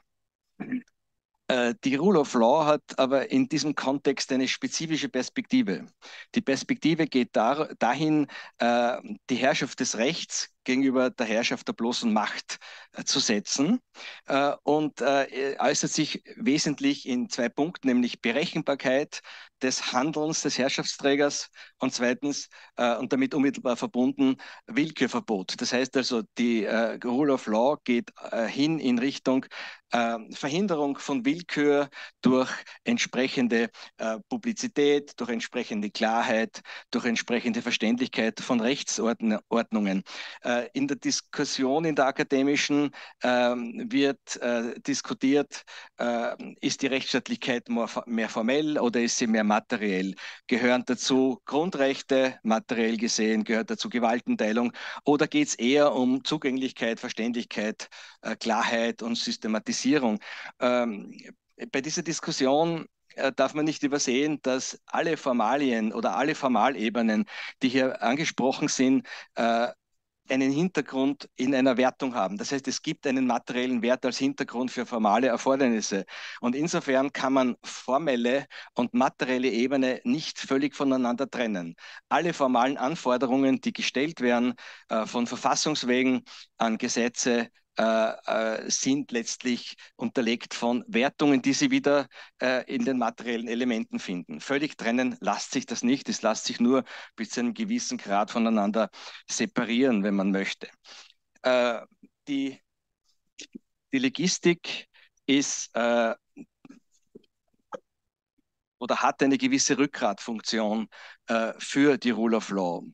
Äh, nämlich äh, gemeint jetzt gar nicht so sehr äh, die Legistik im Sinne, äh, wie gestalte ich Gesetze gut oder wie führe ich Gesetzgebungsprozesse erfolgreich und entsprechend kurz, äh, sondern es geht um diese Formalia. Das heißt, es geht um die Rechtstechnik im engeren Sinn. Das bedeutet, äh, wie formuliere ich sprachlich, wie systematisiere ich Gesetze, wie beispielsweise eine Aufgabe einer heutigen Klausur, äh, wie formuliere ich den Artikel 78 BVG so um, dass er von der logischen Abfolge her besser gestaltet ist im Kontext des Artikels, im Zusammenhang mit dem Artikel 77 BVG. Das sind also eigentlich äh, Arbeiten, die äh, auf dem Papier oder mit dem Computer stattfinden, ganz konkrete Formulierungstätigkeiten, die aber eigentlich äh, den, die Tätigkeit äh, der Rechtstechnik im engeren Sinn ausmachen. Und diese Rechtstechnik im engeren Sinn hat, so behaupte ich einmal, auch einen gewissen rechtsstaatlichen Wert äh, und damit einen Wert für die Rule of Law. Äh, es geht einerseits um die Transparenz der Rechtsordnung, das heißt also um die Ordnung des Rechts überhaupt im Wege äh, etwa zum Beispiel äh, Instrumentarien wie der Rechtsbereinigung, äh, Instrumentarien wie in der Sunset Legislation etc. Das heißt also, es geht um die Ordnung, Rechtsordnung insgesamt. Als zweites geht es um Rechtsanwendung. Das heißt, also, es geht um die, äh, äh, den Blick auf die Anwendung des Rechts. Diese Anwendungsperspektive ist nicht uninteressant, ist heute schon ein paar Mal erwähnt worden, auch im Zusammenhang mit der Rechtsinformatik. Und diese Anwendungsperspektive teilt die Logistik mit der Rechtsinformatik und hebt sich auch insofern vom Formalmodell Hans Kelsens ab. Hans Kelsen war insofern nicht anwendungsorientiert, äh, sondern hat die Rechtsanwendung auch aus der Wissenschaft, aus der wissenschaftlichen Betrachtung äh, grosso modo hinausgeschoben. Äh, das, was die Logistik betreibt und das, was Rechtsinformatik betreibt, ist eigentlich mit den methodischen Standards der reinen Rechtslehre, also einer besonderen Art von Rechtspositivismus, äh, Rechtsanwendung in den Blick zu nehmen. Und das ist auch eine Verbindung zwischen Kelsen und auch eine Abhebung von Kelsen. Nun, äh, diese, Rechtsanwendung, äh, diese Rechtsanwendungsperspektive ist für die Legistik ganz wesentlich, weil Legisten, Legistinnen äh, schauen in die Richtung, wie wird das, was wir hier schreiben oder was hier geschrieben wird, äh, für denjenigen, der den, das Gesetz wirklich erlässt oder die Verordnung wirklich erlässt, ähm, was, wie wird sich das in der Praxis entfalten, wie wird das angenommen werden, wie wird das praktisch umgesetzt werden. Und diese praktische Umsetzung hat die Logistik gleichermaßen im Blick. Das heißt, die Logistik verfolgt das, was geschieht. Nicht nur macht also nicht nur Texte, sondern verfolgt das, was geschieht. Und äh, um Steuerung äh, bezüglich des, des faktischen Geschehens, des äh, Umsetzungsgeschehens, ähm, äh, Steuerung äh, zu verbessern, gibt es eben diese Gesetzesmaterialien, also logistische Formate zur Information der Rechtsanwendung. Es gibt diese Begutachtungsverfahren als Input für die Logistik, das heißt also äh, mehr Wissen und mehr Sachwissen um die Zusammenhänge, äh, Vorschläge für bessere Gestaltungen von Vorschriften beispielsweise, die sich in einem Begutachtungsverfahren immer ergeben. Und und ähm, diese äh, legistischen äh, Vorkehrungen und Verfahren führen oder sollen dazu führen, letztlich Kosten zu verringern. Das ist der Kontext auch vielleicht mit, mit einem ökonomischen Denken oder mit einem, ähm, äh, äh es geht darum, letztlich äh, Fehlerkosten hintanzuhalten. Ähm, Logistik findet auch eine kleine Grenze, das ist heute schon angesprochen worden der, mit dem Hinweis auf die Judikatur des Europäischen Gerichtshofs. Äh, wenn mehrere Rechtsordnungen gleichzeitig angewendet werden, hat es ein Gesetzgeber schwer, die anderen, den anderen Gesetzgeber vollkommen zu berücksichtigen. Das geht, wenn man das näher durchdenkt, gar nicht. Äh, oder äh, vielleicht will der Gesetzgeber das auch gar nicht machen.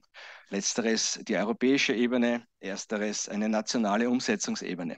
Und das bedeutet, dass relativ viel Gewicht, was die, das Miteinander Anwenden von Rechtsordnungen äh, betrifft, auf die Rechtsanwendung äh, äh, fällt. Äh, die Rechtsanwendung, allein die Rechtsanwendung kann eigentlich dieses Miteinander dann letztlich herstellen.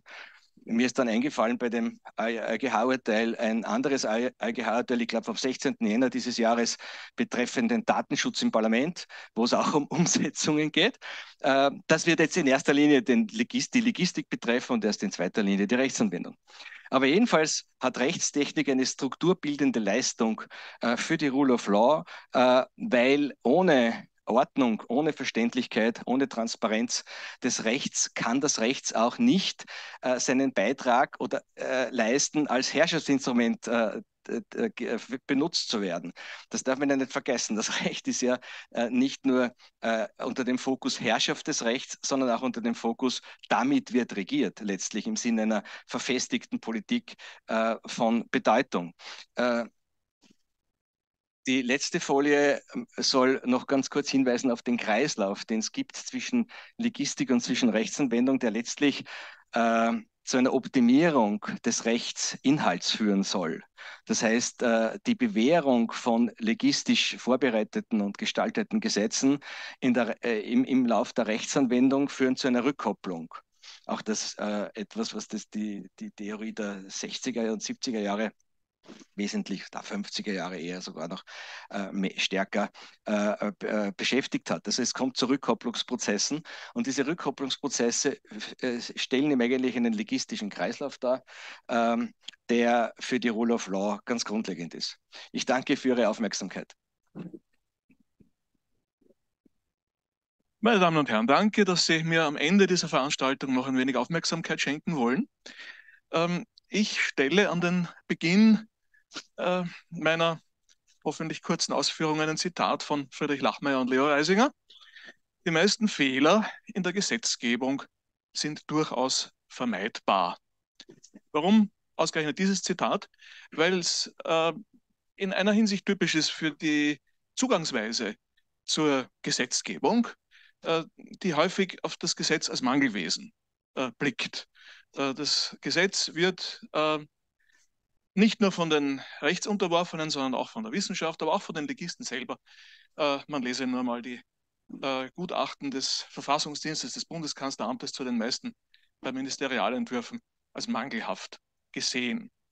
Und ähm, dies in äh, einer, wie ich finde, unnachahmlich schönen Weise ausgedrückt von Fred Rodell, der seinerzeit äh, Dekan der Yale Law School war, There are two things wrong with almost all legal writing. One is its style, the other is its content. Ähm, also gehen wir mal äh, davon aus, dass Gesetzgebung jedenfalls schwierig ist. Ähm, dann können wir äh, sie entweder, wie das sehr lange Zeit geschehen ist und bis heute von, auch von vielen Legisten ähm, äh, gesehen wird, als eine Art Kunst äh, betrachten, die nur den besonders Begnadeten äh, geschenkt ist. Oder wir können aber auch versuchen, wissenschaftlich an die Gesetzgebungstechnik heranzugehen. So etwas wie wissenschaftlich fundierte Handlungsanleitungen äh, zu entwickeln. Und das ist es, was etwa seit den 70er Jahren die Gesetzgebungslehre äh, versucht. Äh, das Thema, das mir gestellt worden ist. Die 70er Jahre, wir haben das schon gehört, waren in vieler Hinsicht so etwas wie eine Achsenzeit, vielleicht auch eine goldene Zeit. Ähm, das goldene Zeit ist immer ein bisschen nostalgisch. Ähm, aber jedenfalls eine Zeit, in der es in vielen Bereichen, so auch in der Gesetzgebungslehre und eben auch in der Rechtsinformatik, zu entscheidenden Weichenstellungen gekommen ist. Ähm, ich betrachte hier nur den mitteleuropäischen Raum, nenne ein paar Namen auf den äh, Folien äh, von Menschen, die diese, wie es wiederum Lachmeier und Reisinger formuliert haben, intellektuelle Marktlücke zu schließen versucht haben. Die, die Feststellung damals war, äh, es gibt ja so die hohe Ebene der, der Rechtsphilosophie, es gibt auch die tiefe Ebene äh, der, äh, der, der, praktischen äh, Techniken für die Strukturierung und Formulierung von Gesetzen, wie sie damals äh, allmählich in legistischen Richtlinien ihren Niederschlag gefunden haben. Aber es fehlt der Mittelbau. Es fehlt eine äh, theoretisch fundierte Auseinandersetzung mit den unterschiedlichen äh, Zielverwirklichungstechniken, die dem Legisten, die der, dem Gesetzgeber zur Verfügung stehen, aus denen er auswählen kann, wenn er ein bestimmtes ihm gestelltes Problem zu lösen hat. Äh, und daran hat man in den 70er Jahren zu arbeiten begonnen. Gleichzeitig ähm, hat man, wie wir ja heute schon äh, gehört haben, äh, begonnen, die Rechtsinformatik zu entwickeln, äh, nach anfänglicher Skepsis, die auch schon geschildert worden ist, Luhmanns Zitat ist bekannt, der Jurist verhält sich zum Computer etwa so wie das Auto zum Reh, manchmal begegnen sie einander doch. Also äh, man hat das eher als Unfall gesehen, denn als, äh, als einen Weg in die Zukunft. Ähm, aber Menschen wie äh, einige äh, hier genannte deutsche Wissenschaftler, viele vom Recht kommend, manche von der Informatik oder der Mathematik kommend, haben dann doch versucht, eine Verbindung herzustellen. Die Frage war, was ist die Rechtsinformatik? Ist sie so etwas, die Informatiker haben das äh, meistens so gesehen wie eine Bindestrich-Informatik, die den Informatikern gehört, äh, oder ist es wirklich ein interdisziplinärer Ansatz, äh, was von den Juristen, die sich ernsthaft damit auseinandergesetzt haben, eher durchzusetzen versucht worden ist. Und beides hat Leo Reisinger verbunden. Die Gesetzgebungslehre hat er über, von der Normentheorie äh, ausgehend studiert und befruchtet und die Rechtsinformatik hat er zum Gegenstand äh, grundsätzlicher äh, Werke wie seiner, seines Lehrbuchs äh, gemacht. Äh, in Österreich ist natürlich immer mit einer kleinen zeitlichen Verzögerung von ein paar Jahren gegenüber Deutschland, wie das halt so ist, sowohl die Gesetzgebungslehre als auch die Rechtsinformatik ähm, ernsthaft betrieben worden. einige bis heute bekannte Rechtswissenschaftler wie Winkler, Oellinger oder Schäffer haben die Gesetzgebungslehre zu betreiben begonnen, Tagungen organisiert, dann schließlich auch eine Gesellschaft ins Leben gerufen. Gleichzeitig ist auf der Ebene der Verwaltungspraxis mit den logistischen Richtlinien Gesetzgebungstechnik äh, formalisiert worden. In der Rechtsinformatik war vor Reisinger noch äh, Swoboda der Erste, der in, in der Universität Wien Vorlesungen gehalten hat. Dann kam schon Reisinger und Weinberger und Tamelow sind schon genannt worden, dazu brauche ich nichts mehr zu sagen. Äh, Reisinger hat in seinem Lehrbuch ausdrücklich die Forderung an sich selbst gerichtet, gleichermaßen wie für Juristen wie für Informatiker zu schreiben. Das war gar nicht so selbstverständlich angesichts äh, der äh, Disziplinengrenzen, die da bestanden haben. Äh, dennoch ist es auch ihm nicht gelungen, äh, auch seine Bewerbungen um eine Professur an der Universität Wien sind gescheitert, äh, die Rechtsinformatik als selbstständige universitäre Disziplin durchzusetzen. Aber man konnte, und äh, das ist auch schon angedeutet worden zuvor, in die Projektkultur ausweichen. Das hat Leo Reisinger getan, das hat Friedrich Lachmeier getan. Und da sind zwei Projekte äh, in unserem Zusammenhang der Gesetzgebungslehre zu nennen. Das EDV-Versuchsprojekt Verfassungsrecht hat so etwas wie einen Demonstrator geschaffen, dass man mit Hilfe der EDV äh, Rechtsdokumentation betreiben könne. Gleichzeitig hat man auch gesehen, wie teuer das war. Das hat zunächst einmal prohibitiv gewirkt, aber dennoch hat dieses Versuchsprojekt die Grundlagen geschaffen, auf denen später das RIS äh, aufgebaut worden ist. Nicht zuletzt deswegen, weil Friedrich Lachmeier in der normentheoretischen Arbeitsgruppe im Rahmen dieses äh, Projekts die theoretischen Grundlagen dafür geschaffen hat, auf denen später aufgebaut werden konnte. Und dann hat er, äh, die IBM Österreich, die damals äh, mit der, dem Bundeskanzleramt äh, zusammengearbeitet hat, einen Projektauftrag erteilt, insbesondere an Friedrich Lachmeier und Leo Reisinger, äh, für ein Projekt zur Analyse der Struktur von Gesetzen. Das war sozusagen ein Spin-off des EDV-Versuchsprojekts äh, Verfassungsrecht. Und hier hat man die Idee verfolgt, ein automationsunterstütztes Verfahren zur Analyse der Struktur von Gesetzen zu schaffen, um damit eine Grundlage auch für die Logistik, auch für die Rechtsetzungstechnik zu gewinnen. Äh, freilich ähm, war das Verständnis in der juristischen Öffentlichkeit noch begrenzt. Es gibt ein schönes Zitat aus dem Akt im Bundesministerium für Justiz, der über die Projektvorstellung dort berichtet. dahin heißt es, die anwesenden Praktiker dürften eher verwirrt worden sein. Überrascht uns nicht, ist vielleicht manch, für manche auch heute noch verwirrend, obwohl wir mit äh, der Informatik schon vertrauter sind, als man das vor 50 Jahren war. Wunderschönes Mannsrot, äh, das Buch, das wir auch schon mal gesehen haben, heute auf einer anderen Folie, Ergebnis dieses äh, Projekts zur Entwicklung dieses automationsunterstützten Verfahrens zur, äh, äh, zur Analyse der Struktur von Gesetzen. Äh, wie stellen äh, Friedrich Lachmeier und Leo Reisinger hier die Gesetzgebung dar als einen Weg vom potenziellen Recht, vom möglichen Recht äh, zu den, zum positiven Recht und dessen möglichen Konsequenzen? Im Projekt haben sie sich der, der Analyse des Spektrums möglichen Rechts aufgrund begreiflicherweise dessen Umfanges enthalten und sich mit dem Spektrum möglicher Konsequenzen äh, beschäftigt. Allerdings da auch wieder nur mit dem Bedingungsteil und nicht mit dem Rechtsfolgenteil. Also man sieht, äh, dass man in diesem Projekt schon gezwungen war, anhand eines engen Ausschnitts aus dem Gesamtproblem zu arbeiten und zu argumentieren, aber man konnte zumindest anhand dieses Ausschnitts die Formalisierbarkeit äh, des, äh, des Materials äh, demonstrieren. Ähm, ich weiß, ich muss mich beeilen angesichts der Zeit. Ähm, aus der kybernetischen Sicht auf das Recht, ähm, wie es Reisinger hier dargestellt hat, äh, ergibt sich äh, als besonderes Problem der Gesetzgebungslehre für Reisinger ähm, die äh, weil eine mögliche Quelle von Störungen des Regelungssystems darstellend äh, die äh, Problematik der Widerspruchsfreiheit und Vollständigkeit von Regelungen und damit hat sich Reisinger in seinen formalisierenden Darstellungen besonders beschäftigt.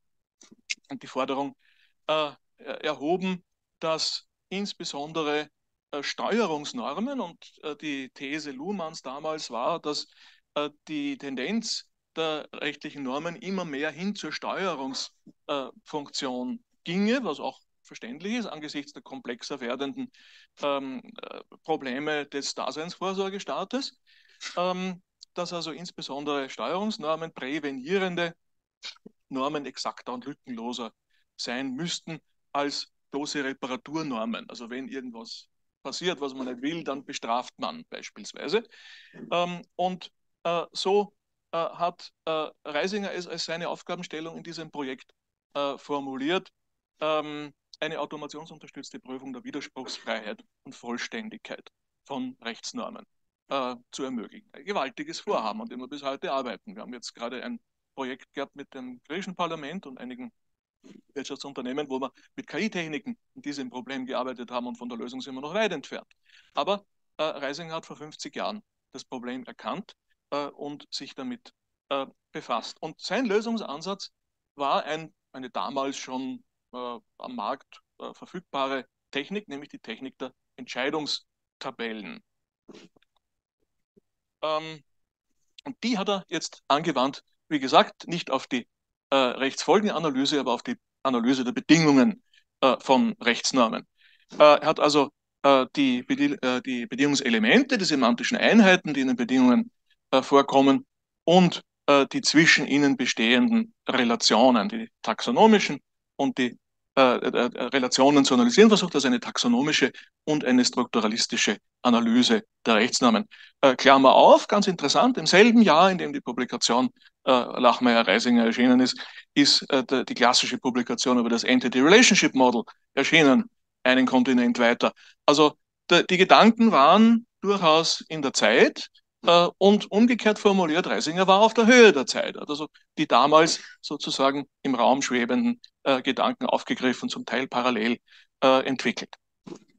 Und die Idee ist nun, äh, dass man in einem, äh, in einem äh, in einer Entscheidungstabelle, das war wie gesagt der technische Lösungsansatz, die möglichen Bedingungen für ein bestimmtes Bedingungsschema ähm, auf, listet, ähm, mit dem Gesetzentwurf abgleicht, also überprüft, welche dieser Bedingungen sind im Gesetzentwurf berücksichtigt und äh, daraus äh, ableitet, welche der übrigen möglichen Bedingungen äh, wären noch entweder zu berücksichtigen, weil vergessen, übersehen, was auch immer, äh, oder werden, wären bewusst äh, nicht zu berücksichtigen, weil sie von der Intention des Gesetzgebers nicht gedeckt sind.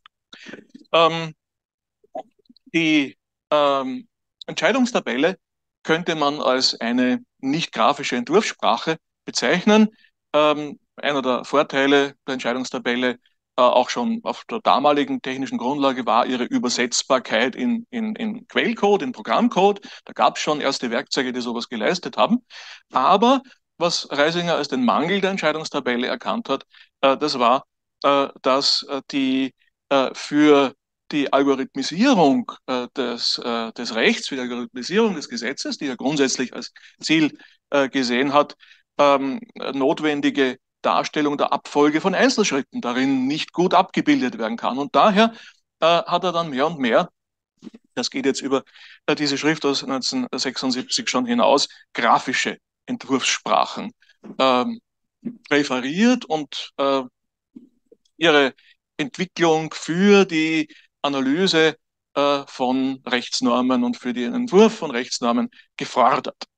Also ähm, eine, äh, eine Verwendung von Flussdiagrammen, könnte man sagen, oder von Ablaufdiagrammen, äh, um darin dieses dynamische Element äh, in der Abarbeitung äh, rechtlicher Regelungen äh, darzustellen.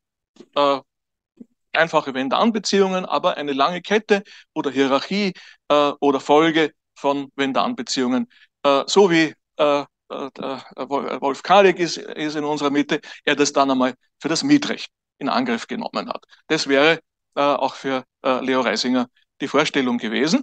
Äh, und da nennt er als Beispiel aus den damals verfügbaren technischen, ähm, technischen Werkzeugkasten, heute sagt man Toolbox dazu, ähm, die DIN 66001 äh, für Datenfluss und Programmablaufpläne, heute noch existierend, aber nicht mehr sehr stark in Verwendung.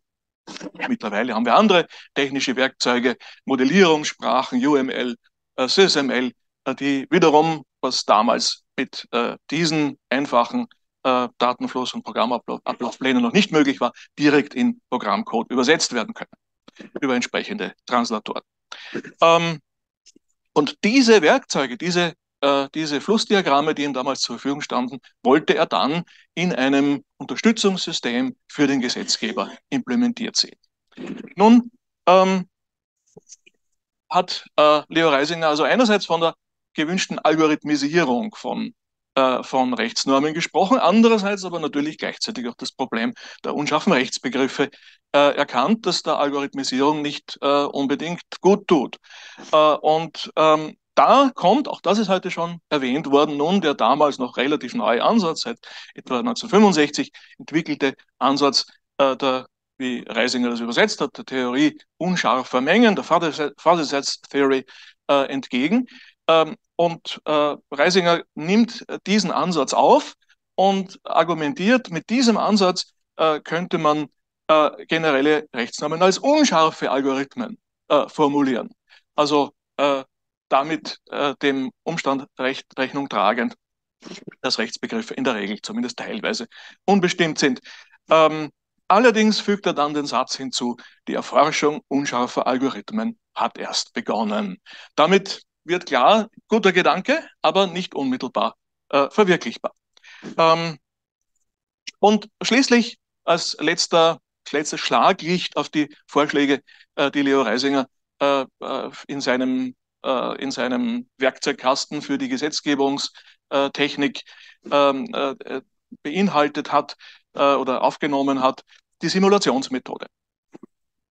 Ähm, er skizziert die Arbeitsschritte, die bei der Entwicklung einer Systemsimulation einzuhalten sind. Er nennt die Möglichkeiten der Simulation äh, in der Logistik, Prozesssimulation, Kostensimulation, Verhaltensprognosen ähm, und sieht aber gleichzeitig auch die Hindernisse, ähm, äh, insbesondere am Mangel an, an erforderlichen Daten, wenn wir die, die äh, Systemmodelle aus der Zeit, Forrester und andere betrachten, sind zwar für ihre Zeit großartig, aber beruhen natürlich auf wirklich nur rudimentären Daten. Wenn wir uns heutige Big Data äh, Sets ansehen, na, da äh, haben wir natürlich wesentlich bessere Voraussetzungen, äh, die wir heute in, in äh, dem, was wir KI nennen, äh, einsetzen können.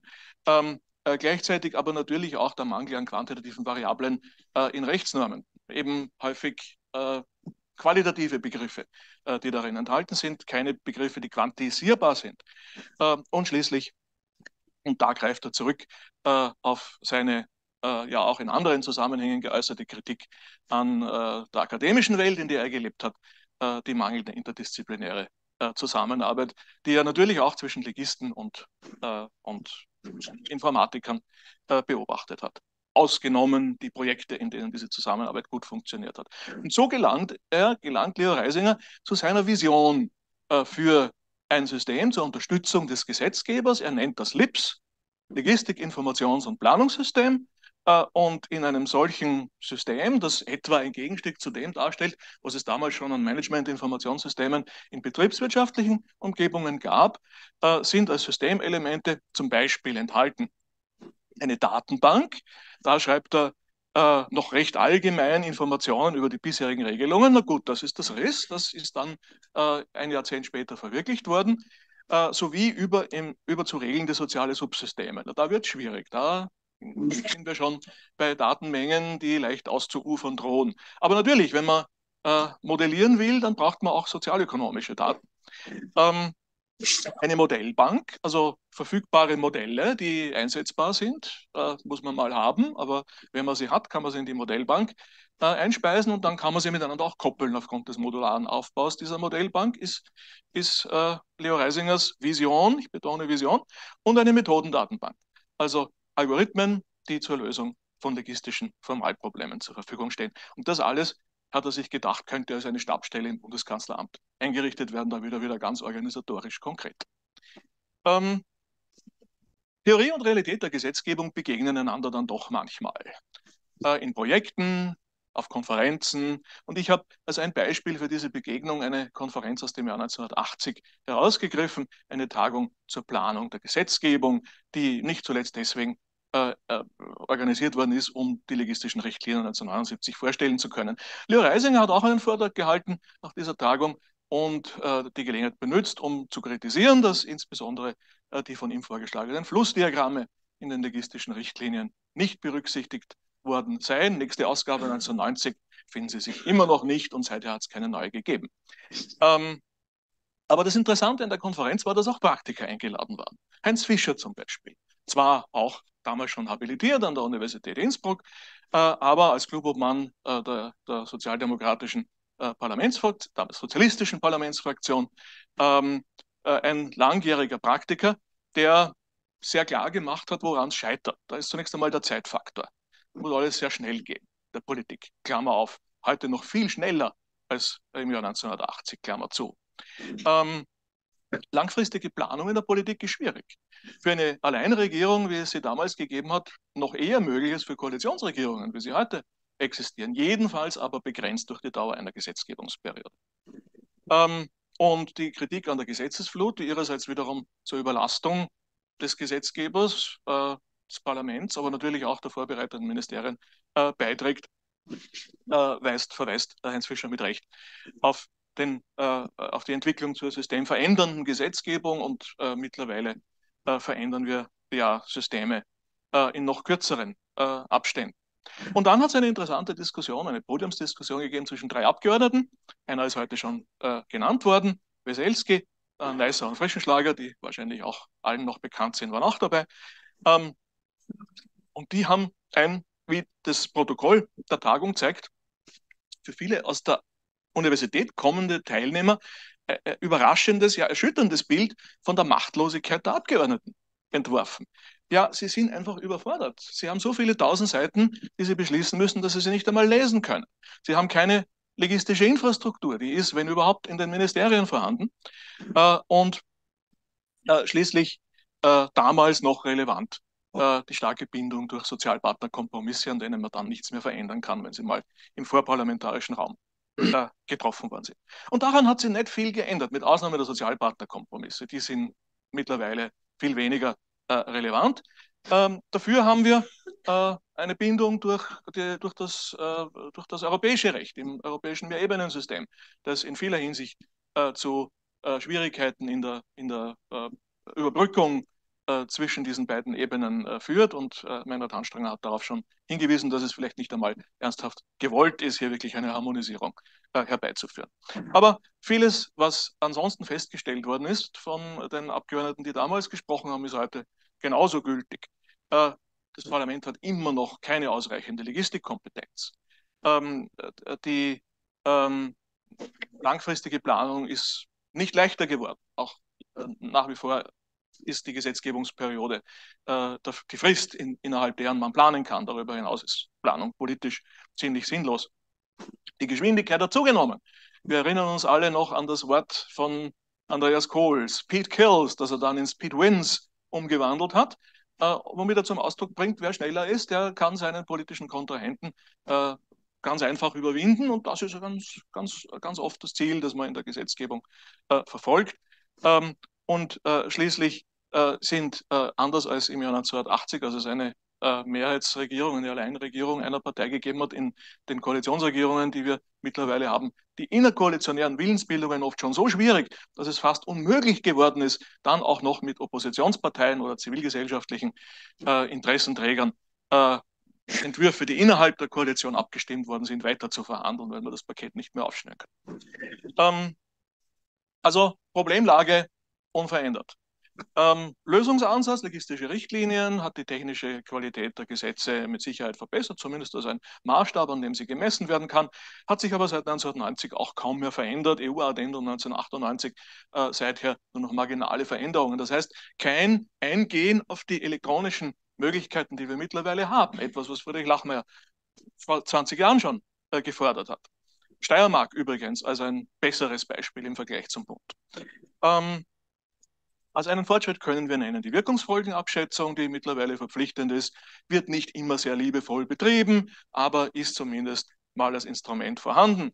Ähm, äh, Zeitdruck eher vergrößert worden, auch die, durch die informatische Unterstützung, die im E-Recht äh, äh, gegeben ist. Also äh, für die inhaltliche Qualität nicht immer äh, ein, ein Vorteil. Das heißt, die Herausforderungen, die Leo Reisinger gesehen hat vor einem halben Jahrhundert, die bestehen weiter.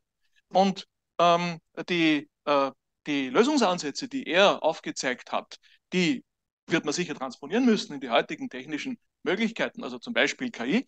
Aber auch diese Lösungsansätze scheinen weiterhin ähm, diskussionswürdig, wie zum Beispiel der Lösungsansatz der Simulation, für den wir heute äh, ja viel bessere Voraussetzungen hätten als damals.